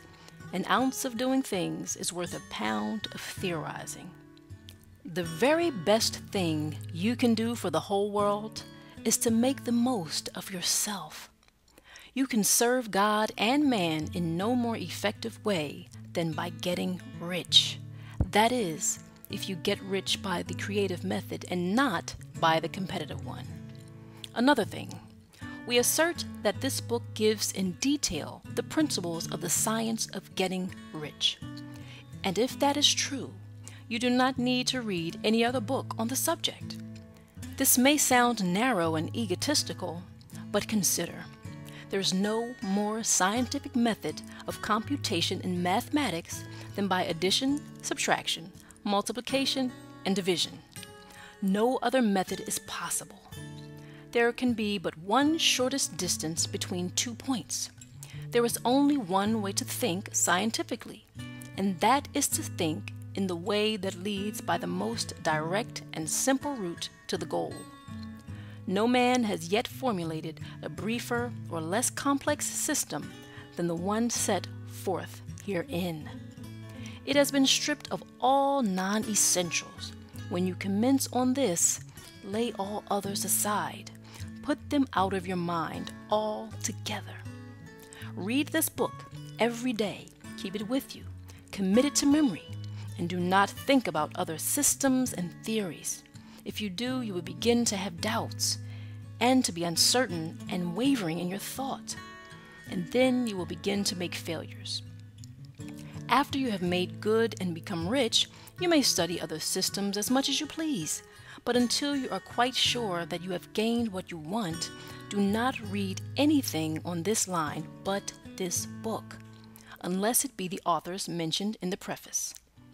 And read only the most optimistic comments on the world's news, those in harmony with your picture. Also, postpone your investigations into the occult do not dabble in theosophy, spiritualism, or kindred studies.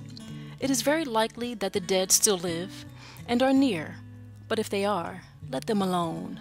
Mind your own business. Wherever the spirits of the dead may be, they have their own work to do and their own problems to solve, and we have no right to interfere with them. We cannot help them, and it is very doubtful whether they can help us, or whether we have any right to trespass upon their time if they can. Let the dead and the hereafter alone and solve your own problem. Get rich. If you begin to mix with the occult, you will start mental cross currents which will surely bring your hopes to shipwreck. Now, this and the preceding chapters have brought to us the following statement of basic facts. There is a thinking stuff from which all things are made, and which, in its original state, permeates, penetrates, and fills the interspaces of the universe. A thought in this substance produces the thing that is imaged by the thought. Man can form things in his thought, and by impressing his thought upon formless substance, can cause the thing he thinks about to be created. In order to do this, man must pass from the competitive to the creative mind. He must form a clear mental picture of the things he wants and hold this picture in his thoughts with the fixed purpose to get what he wants and the unwavering faith that he does get what he wants, closing his mind against all that may tend to shake his purpose, dim his vision, or quench his faith. In addition to all this, we shall now see that he must live and act in a certain way.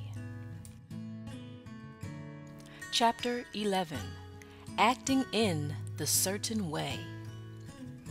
Thought is the creative power or the impelling force which causes the creative power to act. Thinking in a certain way will bring riches to you, but you must not rely upon thought alone, paying no attention to personal action. That is the rock upon which many otherwise scientific, metaphysical thinkers meet shipwreck the failure to connect thought with personal action. We have not yet reached the stage of development, even supposing such a stage to be possible, in which man can create directly from formless substance without nature's processes or the work of human hands. Man must not only think, but his personal action must supplement his thought. By thought, you can cause the gold in the hearts of the mountains to be impelled toward you. But it will not mine itself, refine itself, coin itself into double eagles, and come rolling along the roads, seeking its way into your pocket. Under the impelling power of the Supreme Spirit, men's affairs will be so ordered that someone will be led to mine the gold for you. Other men's business transactions will be so directed that the gold will be brought toward you, and you must so arrange your own business affairs that you may be able to receive it when it comes to you. Your thought makes all things, animate and inanimate, work to bring you what you want but your personal activity must be such that you can rightly receive what you want when it reaches you. You are not to take it as charity, nor to steal it. You must give every man more in use value than he gives you in cash value. The scientific use of thought consists in forming a clear and distinct mental image of what you want. In holding fast to the purpose to get what you want, and in realizing with grateful faith that you do get what you want. Do not try to project your thought in any mysterious or occult way with the idea of having it go out and do things for you. That is wasted effort and will weaken your power to think with sanity. The action of thought in getting rich is fully explained in the preceding chapters. Your faith and purpose positively impress your vision upon formless substance, which has the same desire for more life that you have, and the vision received from you sets all the creative forces at work in and through their regular channels of action, but directed toward you. It is not your part to guide or supervise the creative process. All you have to do with that is to retain your vision, stick to your purpose, and maintain your faith and gratitude. But you must act in a certain way. so that you can appropriate what is yours when it comes to you, so that you can meet the things you have in your picture and put them in their proper places as they arrive. You can really see the truth of this. When things reach you, they will be in the hands of other men who will ask an equivalent for them, and you can only get what is yours by giving the other man what is his. Your pocketbook is not going to be transformed into a Fortunatus purse, which shall be always full of money without effort on your part. This is the crucial point in the science of getting rich, right here, where thought and personal action must be combined.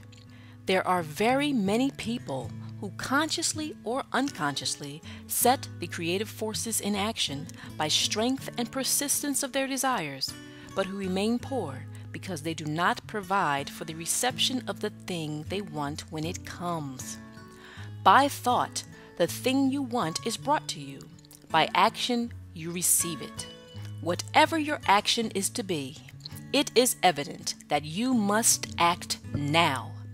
You cannot act in the past, and it is essential to the clearness of your mental vision that you dismiss the past from your mind. You cannot act in the future, for the future is not here yet. And you cannot tell how you will want to act in any future contingency until that contingency has arrived. Because you are not in the right business or the right environment now, do not think that you must postpone action until you get into the right business or environment. And do not spend time in the present taking thought as to the best course in possible future emergencies. Have faith in your ability to meet any emergency when it arrives. If you act in the present with your mind on the future, your present action will be with a divided mind and will not be effective. Put your whole mind into present action. Do not give your creative impulse to original substance and then sit down and wait for results. If you do, you will never get them. Act now. There is never any time but now. And there never will be any time but now. If you are ever to begin to make ready for the reception of what you want, you must begin now. And your action, whatever it is, must most likely be in your present business or employment, and must be upon the persons and things in your present environment. You cannot act where you are not you cannot act where you have been, and you cannot act where you are going to be. You can act only where you are. Do not bother as to whether yesterday's work was well done or ill done. Do today's work well. Do not try to do tomorrow's work now. There will be plenty of time to do that when you get to it. Do not try by occult or mystical means to act on people or things that are out of your reach.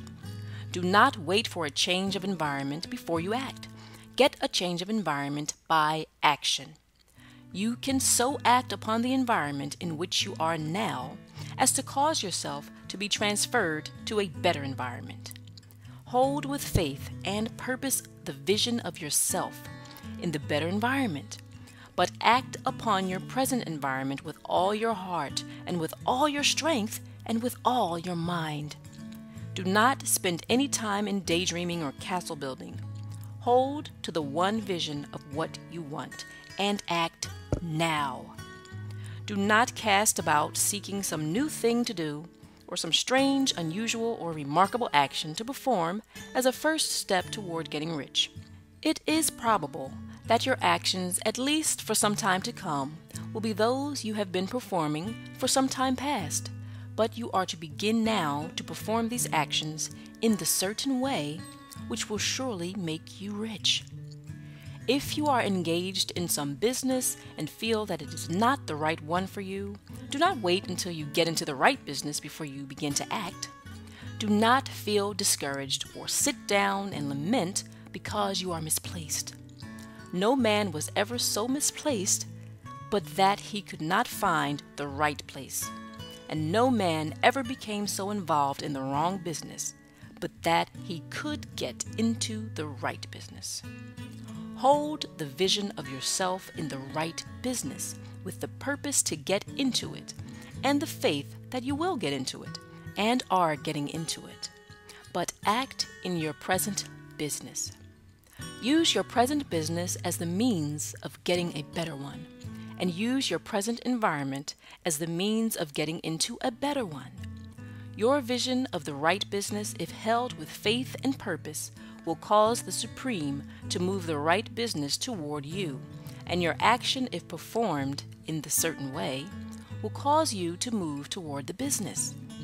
If you are an employee or wage earner and feel that you must change places in order to get what you want, do not project your thought into space and rely upon it to get you another job.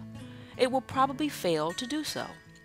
Hold the vision of yourself in the job you want while you act with faith and purpose on the job you have, and you will certainly get the job you want. Your vision and faith will set the creative force in motion to bring it toward you, and your action will cause the forces in your own environment to move you toward the place you want. In closing this chapter, we will add another statement to our syllabus.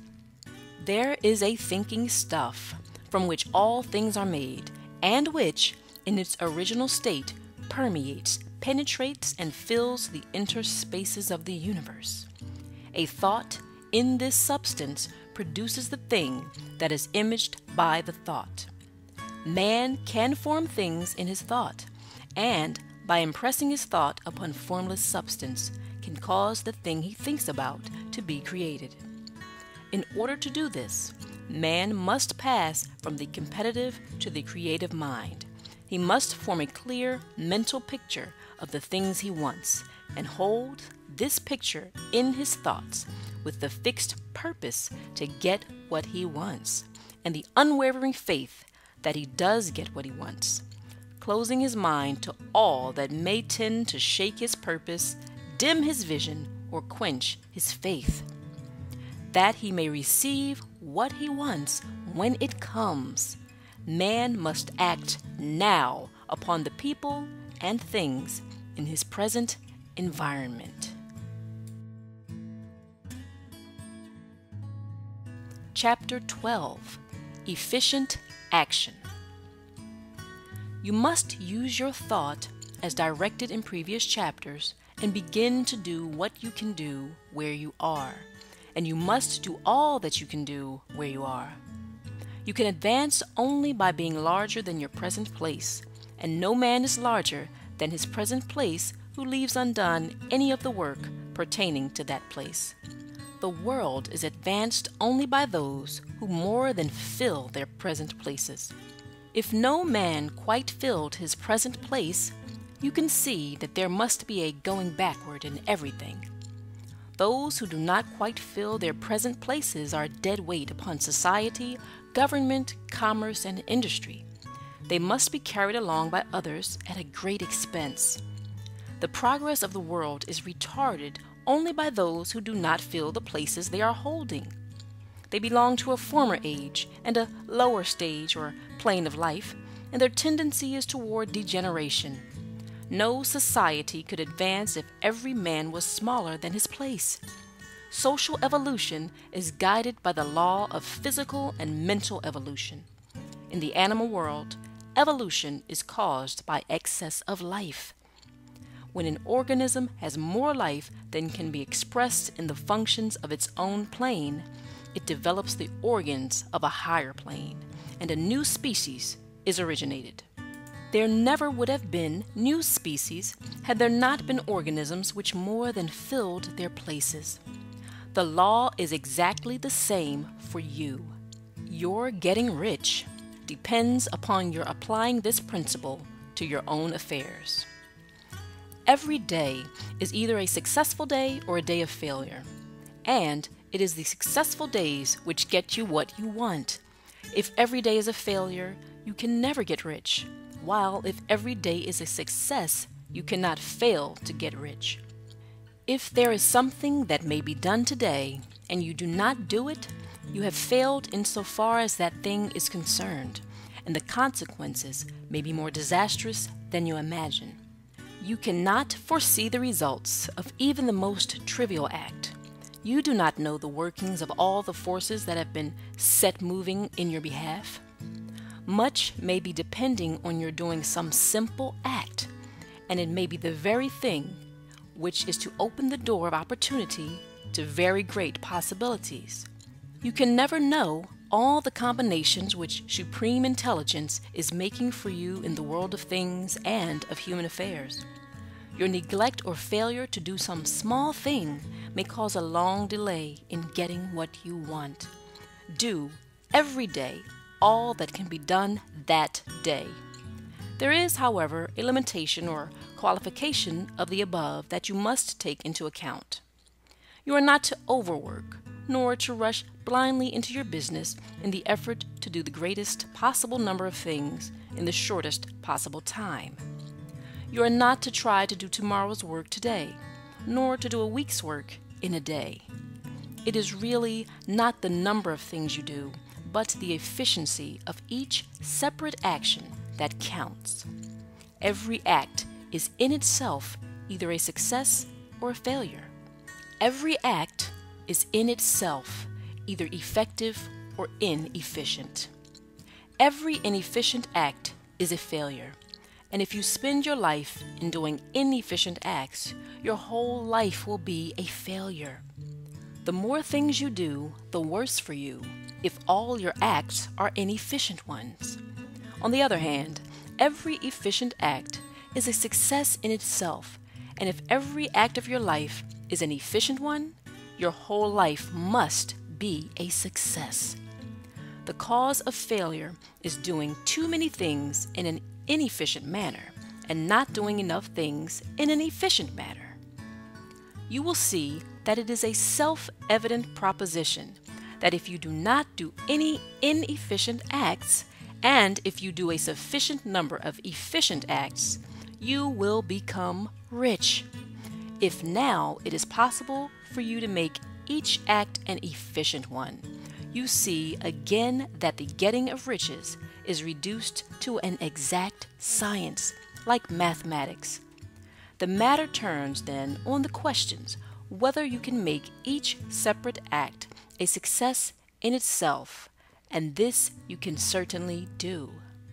You can make each act a success because all power is working with you, and all power cannot fail. Power is at your service, and to make each act efficient, you have only to put power into it. Every action is either strong or weak, and when everyone is strong, you are acting in the certain way which will make you rich.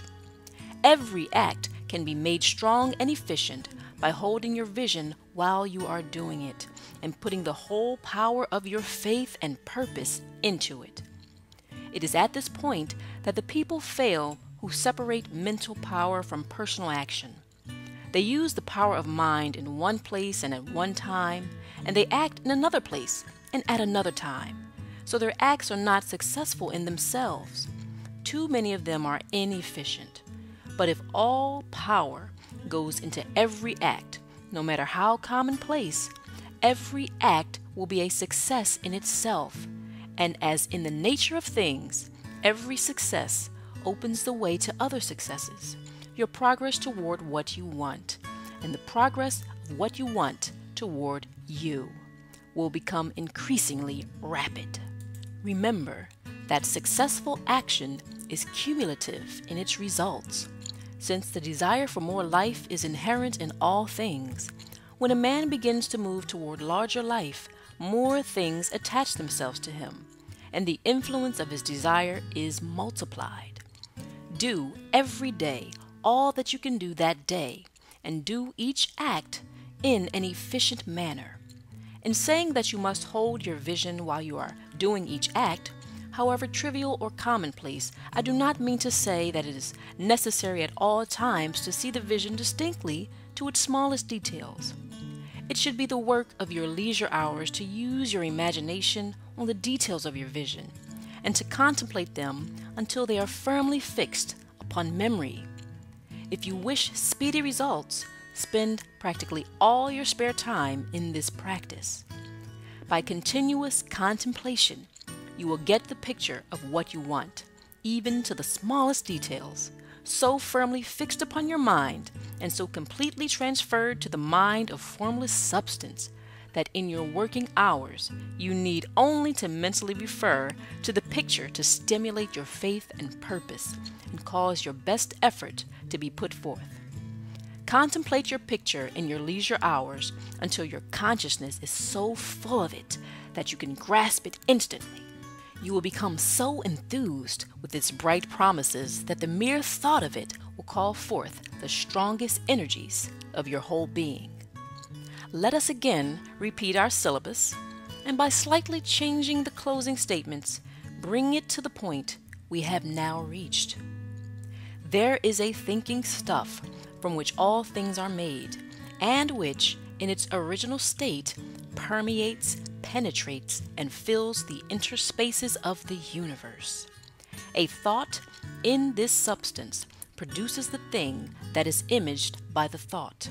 Man can form things in his thought, and by impressing his thought upon formless substance, can cause the thing he thinks about to be created.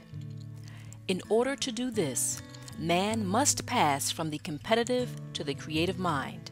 He must form a clear mental picture of the things he wants and do with faith and purpose all that can be done each day, doing each separate thing in an efficient manner.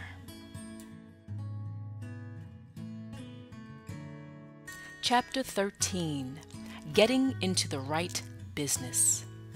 Success in any particular business depends, for one thing, upon your possessing in a well developed state the faculties required in that business. Without good musical faculty, no one can succeed as a teacher of music. Without well developed mechanical faculties, no one can achieve great success in any of the mechanical trades. Without tact and the commercial faculties, no one can succeed in mercantile pursuits. But to possess in a well developed state the faculties required in your particular vocation does not ensure getting rich. There are musicians who have remarkable talent and who yet remain poor. There are blacksmiths, carpenters, and so on who have excellent mechanical ability, but who do not get rich. And there are merchants with good faculties for dealing with men who nevertheless fail. The different faculties are tools. It is essential to have good tools, but it is also essential that the tools should be used in the right way.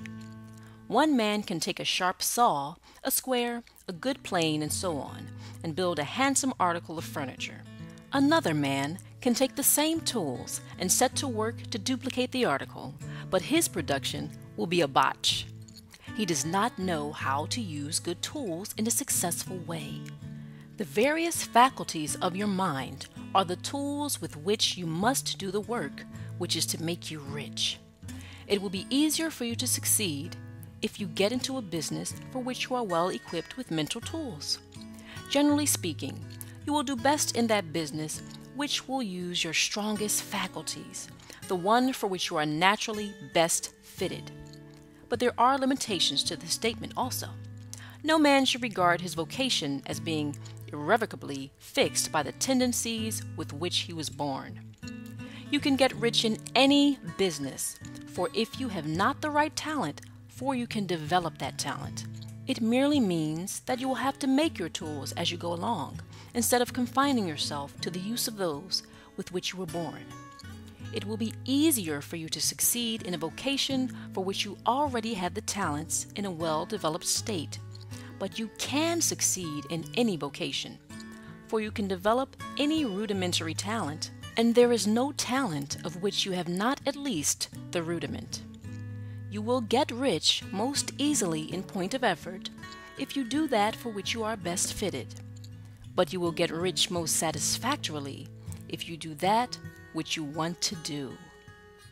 Doing what you want to do is life, and there is no real satisfaction in living if we are compelled to be forever doing something which we do not like to do, and can never do what we want to do.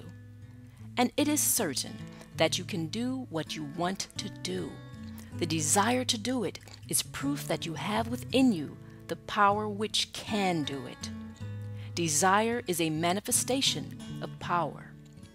The desire to play music is the power which can play music seeking expression and development. The desire to invent mechanical devices is the mechanical talent seeking expression and development. Where there is no power, either developed or undeveloped, to do a thing, there is never any desire to do that thing.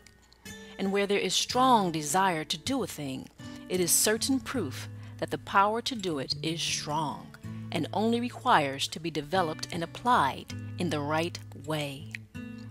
All things else being equal, it is best to select the business for which you have the best developed talent.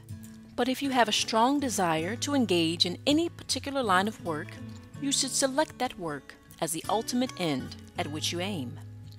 You can do what you want to do, and it is your right and privilege to follow the business or avocation which will be most congenial and pleasant. You are not obliged to do what you do not like to do, and should not do it except as a means to bring you to the doing of the thing you want to do. If there are past mistakes whose consequences have placed you in an undesirable business or environment, you may be obliged for some time to do what you do not like to do, but you can make the doing of it pleasant by knowing that it is making it possible for you to come to the doing of what you want to do. If you feel that you are not in the right vocation, do not act too hastily in trying to get into another one. The best way, generally, to change business or environment is by growth. Do not be afraid to make a sudden and radical change if the opportunity is presented and you feel after careful consideration that it is the right opportunity. But never take sudden or radical action when you are in doubt as to the wisdom of doing so. There is never any hurry on the creative plane, and there is no lack of opportunity. When you get out of the competitive mind, you will understand that you never need to act hastily. No one else is going to beat you to the thing you want to do. There is enough for all. If one space is taken, another and a better one will be opened for you a little farther on. There is plenty of time. When you are in doubt, wait. Fall back on the contemplation of your vision and increase your faith and purpose. And by all means, in times of doubt and indecision, cultivate gratitude. A day or two spent in contemplating the vision of what you want and in earnest thanksgiving that you are getting it will bring your mind into such close relationship with the Supreme that you will make no mistake when you do act. There is a mind which knows all there is to know, and you can come into close unity with this mind by faith and the purpose to advance in life if you have deep gratitude. Mistakes come from acting hastily, or from acting in fear or doubt, or in forgetfulness of the right motive, which is more life to all and less to none. As you go on in this certain way, opportunities will come to you in increasing number, and you will need to be very steady in your faith and purpose, and to keep in close touch with the All Mind by reverent gratitude. Do all that you can do in a perfect manner every day, but do it without haste, worry, or fear.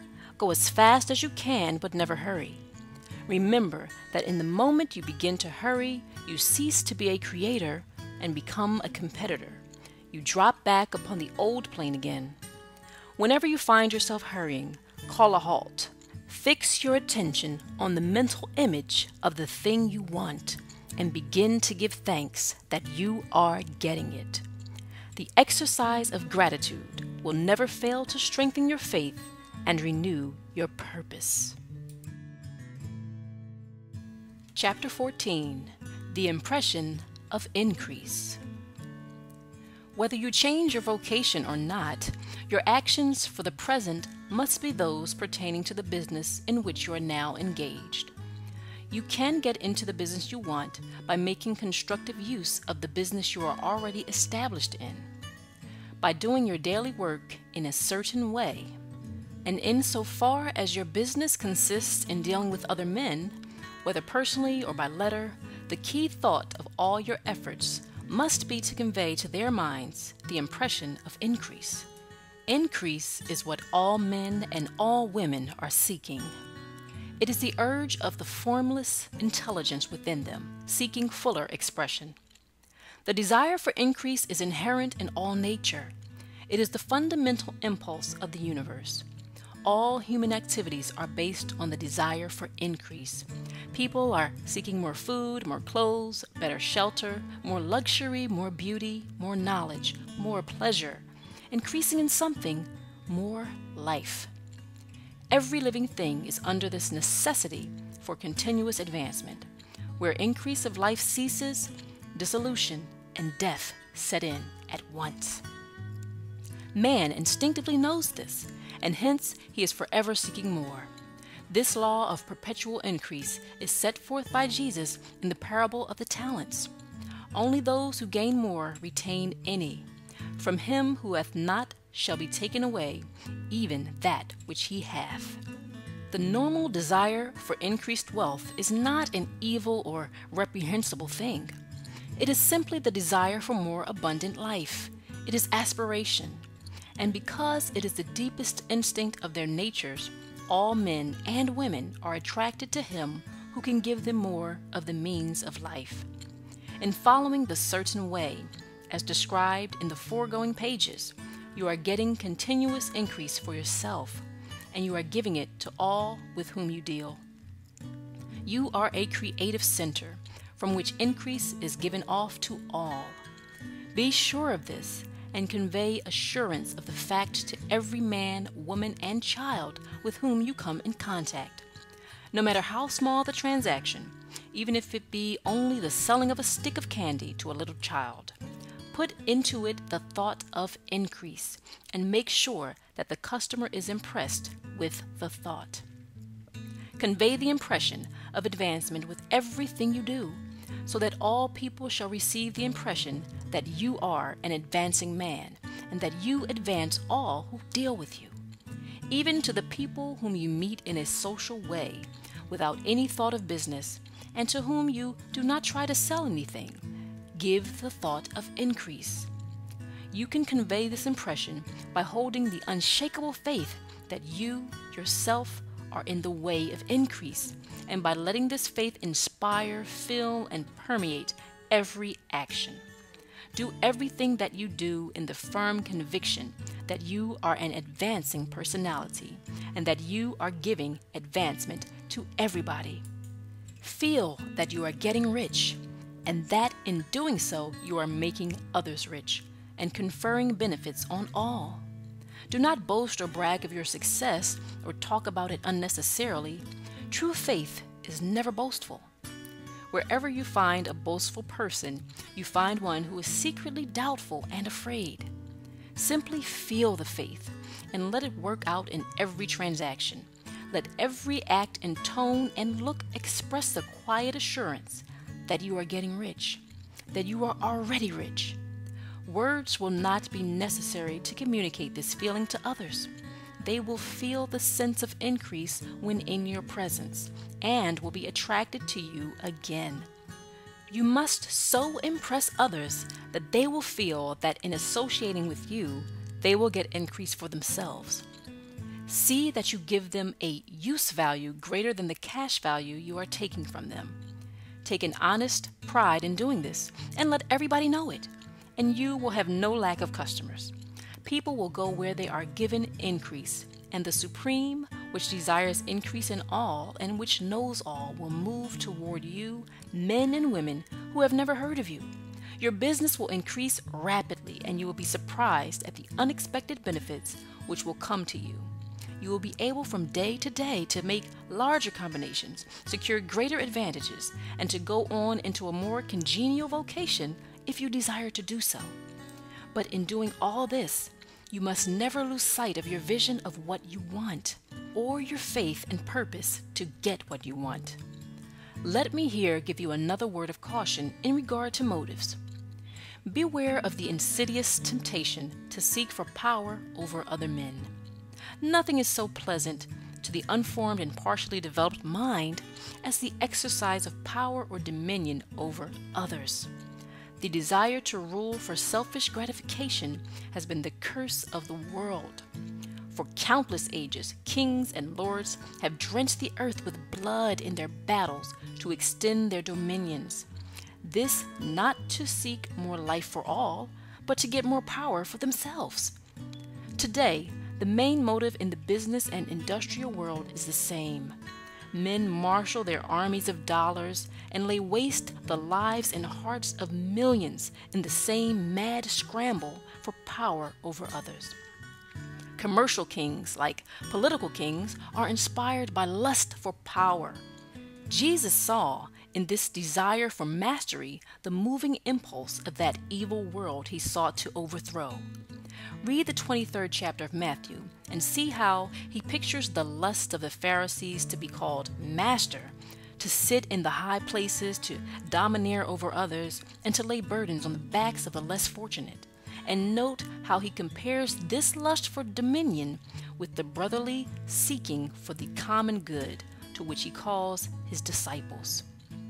Look out for the temptation to seek for authority, to become a master, to be considered as one who is above the common herd, to impress others by lavish display, and so on.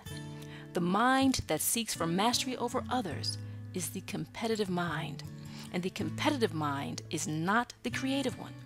In order to master your environment and your destiny, it is not at all necessary that you should rule over your fellow men, and indeed, when you fall into the world's struggle for the high places, you begin to be conquered by fate and environment, and your getting rich becomes a matter of chance and speculation. Beware of the competitive mind. No better statement of the principle of creative action can be formulated than the favorite declaration of the late Golden Rule Jones of Toledo. What I want for myself, I want for everybody.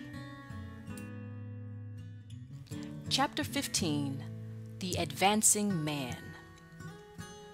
What I have said in the last chapter applies as well to the professional man and the wage earner as to the man who is engaged in mercantile business. No matter whether you are a physician, a teacher, or a clergyman, if you can give increase of life to others and make them sensible of the fact, they will be attracted to you and you will get rich. The physician who holds the vision of himself as a great and successful healer and who works toward the complete realization of that vision with faith and purpose, as described in former chapters, will come into such close touch with the source of life that he will be phenomenally successful. Patients will come to him in throngs. No one has a greater opportunity to carry into effect the teaching of this book than the practitioner of medicine. It does not matter to which of the various schools he may belong, for the principle of healing is common to all of them and may be reached by all alike. The advancing man in medicine who holds to a clear mental image of himself as successful and who obeys the laws of faith, purpose, and gratitude will cure every curable case he undertakes, no matter what remedies he may use. In the field of religion, the world cries out for the clergyman who can teach his hearers the true science of abundant life. He who masters the details of the science of getting rich, together with the allied sciences of being well, of being great, and of winning love, and who teaches these details from the pulpit, will never lack for a congregation. This is the gospel that the world needs. It will give increase of life, and men will hear it gladly and will give liberal support to the man who brings it to them. What is now needed is a demonstration of the science of life from the pulpit. We want preachers who can not only tell us how, but who in their own persons will show us how. We need the preacher who will himself be rich, healthy, great, and beloved to teach us how to attain these things. And when he comes, he will find a numerous and loyal following. The same is true of the teacher who can inspire the children with the faith and purpose of the advancing life. He will never be out of a job, and any teacher who has this faith and purpose can give it to his pupils. He cannot help giving it to them if it is part of his own life and practice. What is true of the teacher, preacher, and physician is true of the lawyer, dentist, real estate man, insurance agent, of everybody. The combined mental and personal action I have described is infallible. It cannot fail. Every man and woman who follows these instructions steadily, perseveringly, and to the letter will get rich. The law of the increase of life is as mathematically certain in its operation as the law of gravitation. Getting rich is an exact science. The wage earner will find this as true of his case as of any of the others mentioned. Do not feel that you have no chance to get rich because you are working where there is no visible opportunity for advancement, where wages are small and the cost of living high. Form your clear mental vision of what you want and begin to act with faith and purpose. Do all the work you can do every day and do each piece of work in a perfectly successful manner. Put the power of success and the purpose to get rich into everything that you do. But do not do this merely with the idea of currying favor with your employer, in the hope that he or those above you will see your good work and advance you. It is not likely that they will do so. The man who is merely a good workman, filling his place to the very best of his ability and satisfied with that, is valuable to his employer, and it is not to the employer's interest to promote him. He is worth more where he is. To secure advancement, something more is necessary than to be too large for your place. The man who is certain to advance is the one who is too big for his place and who has a clear concept of what he wants to be, who knows that he can become what he wants to be, and who is determined to be what he wants to be. Do not try to more than fill your present place with a view to pleasing your employer do it with the idea of advancing yourself. Hold the faith and purpose of increase during work hours, after work hours, and before work hours. Hold it in such a way that every person who comes in contact with you, whether foreman, fellow workman, or a social acquaintance, will feel the power of purpose radiating from you, so that everyone will get the sense of advancement and increase from you men will be attracted to you.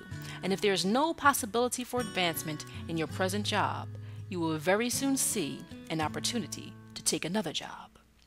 There is a power which never fails to present opportunity to the advancing man who is moving in obedience to the law. God cannot help helping you if you act in a certain way. He must do so in order to help himself. There is nothing in your circumstances or in the industrial situation that can keep you down. If you cannot get a rich working for the Steel Trust, you can get rich on a 10 acre farm. And if you begin to move in the certain way, you will certainly escape from the clutches of the Steel Trust and get on to the farm or wherever else you wish to be. If a few thousands of its employees would enter upon the certain way, the Steel Trust would soon be in a bad plight. It would have to give its working men more opportunity or go out of business. Nobody has to work for a trust. The trusts can keep men in so called hopeless conditions only so long as there are men who are too ignorant to know of the science of getting rich or too intellectually slothful to practice it. Begin this way of thinking and acting, and your faith and purpose will make you quick to see any opportunity to better your condition. Such opportunities will speedily come, for the Supreme, working in all and working for you, will bring them before you. Do not wait for an opportunity to be all that you want to be. When an opportunity to be more than you are now is presented and you feel impelled toward it, take it. It will be the first step toward a greater opportunity. There is no such thing possible in this universe as a lack of opportunities for the man who is living the advancing life. It is inherent in the constitution of the cosmos that all things shall be for him and work together for his good, and he must certainly get rich if he acts and thinks in the certain way. So let wage earning men and women study this book with great care and enter with confidence upon the course of action it prescribes. It will not fail.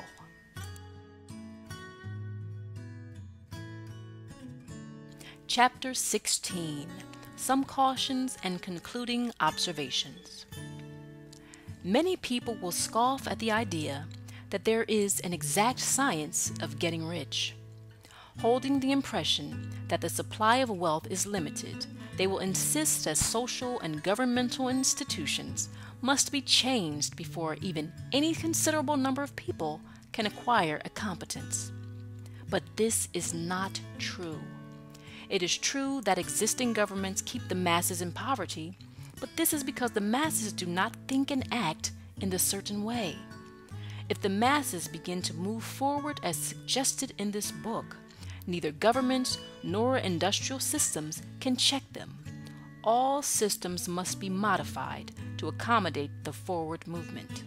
If the people have the advancing mind, have the faith that they can become rich, and move forward with the fixed purpose to become rich, nothing can possibly keep them in poverty. Individuals may enter upon the certain way at any time and under any government and make themselves rich. And when any considerable number of individuals do so under any government, they will cause the system to be so modified as to open the way for others. The more men who get rich on the competitive plane, the worse for others.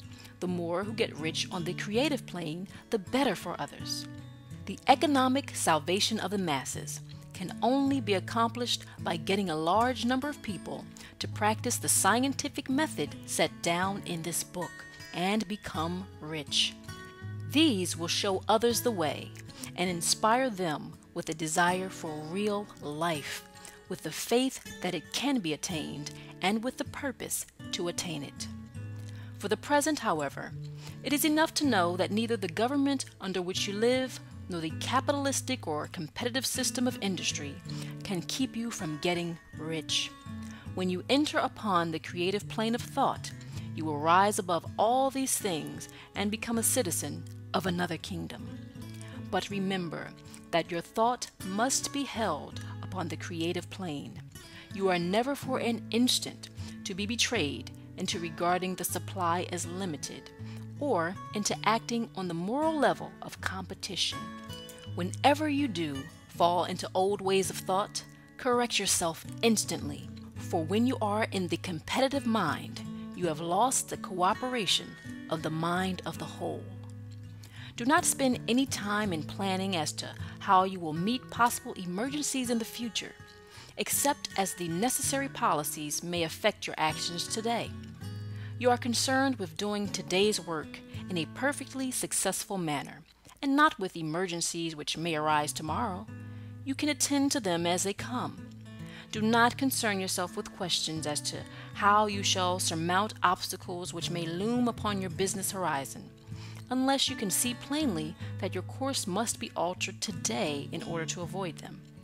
No matter how tremendous an obstruction may appear at a distance, you will find that if you go on in the certain way, it will disappear as you approach it, or that a way over, through, or around it will appear. No possible combination of circumstances can defeat a man or woman who is proceeding to get rich along strictly scientific lines. No man or woman who obeys the law can fail to get rich, any more than one can multiply two by two and fail to get four. Give no anxious thought to possible disasters, obstacles, panics, or unfavorable combinations of circumstances. It is time enough to meet such things when they present themselves before you in the immediate present, and you will find that every difficulty carries with it the wherewithal for its overcoming. Guard your speech. Never speak of yourself, your affairs, or of anything else in a discouraged or discouraging way. Never admit the possibility of failure or speak in a way that infers failure as a possibility. Never speak of the times as being hard or of business conditions as being doubtful. Times may be hard and business doubtful for those who are on the competitive plane, but they can never be so for you. You can create what you want, and you are above fear. When others are having hard times and poor business, you will find your greatest opportunities. Train yourself to think of and to look upon the world as a something which is becoming, which is growing, and to regard seeming evil as being only that which is undeveloped. Always speak in terms of advancement. To do otherwise is to deny your faith, and to deny your faith is to lose it. Never allow yourself to feel disappointed. You may expect to have a certain thing at a certain time and not get it at that time, and this will appear to you like failure. But if you hold to your faith, you will find that the failure is only apparent. Go on in the certain way, and if you do not receive that thing, you will receive something so much better that you will see that the seeming failure was really a great success. A student of this science had set his mind on making a certain business combination which seemed to him at the time to be very desirable, and he worked for some weeks to bring it about. When the crucial time came, the thing failed in a perfectly inexplicable way. It was as if some unseen influence had been working secretly against him. He was not disappointed. On the contrary, he thanked God that his desire had been overruled, and went steadily on with a grateful mind. In a few weeks, an opportunity so much better came his way that he would not have made the first deal on any account, and he saw that a mind which knew more than he knew had prevented him from losing the greater good by entangling himself with the lesser. That is the way every seeming failure will work out for you if you keep your faith, hold to your purpose, have gratitude, and do every day all that can be done that day, doing each separate act in a successful manner. When you make a failure, it is because you have not asked for enough. Keep on, and a larger thing than you were seeking will certainly come to you. Remember this. You will not fail because you lack the necessary talent to do what you wish to do. If you go on as I have directed, you will develop all the talent that is necessary to the doing of your work. It is not within the scope of this book to deal with the science of cultivating talent, but it is as certain and simple as the process of getting rich.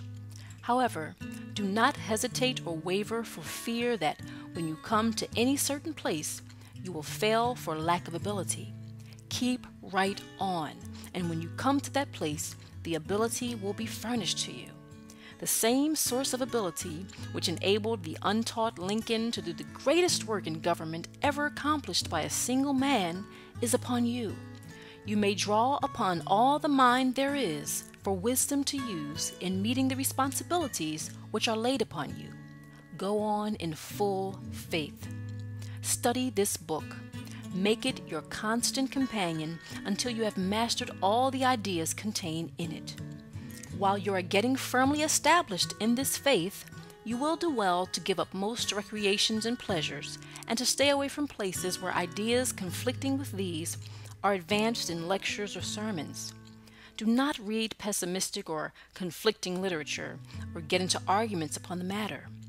Do very little reading outside of the writers mentioned in the preface. Spend most of your leisure time in contemplating your vision and in cultivating gratitude and in reading this book. It contains all you need to know of the science of getting rich, and you will find all the essentials summed up in the following chapter.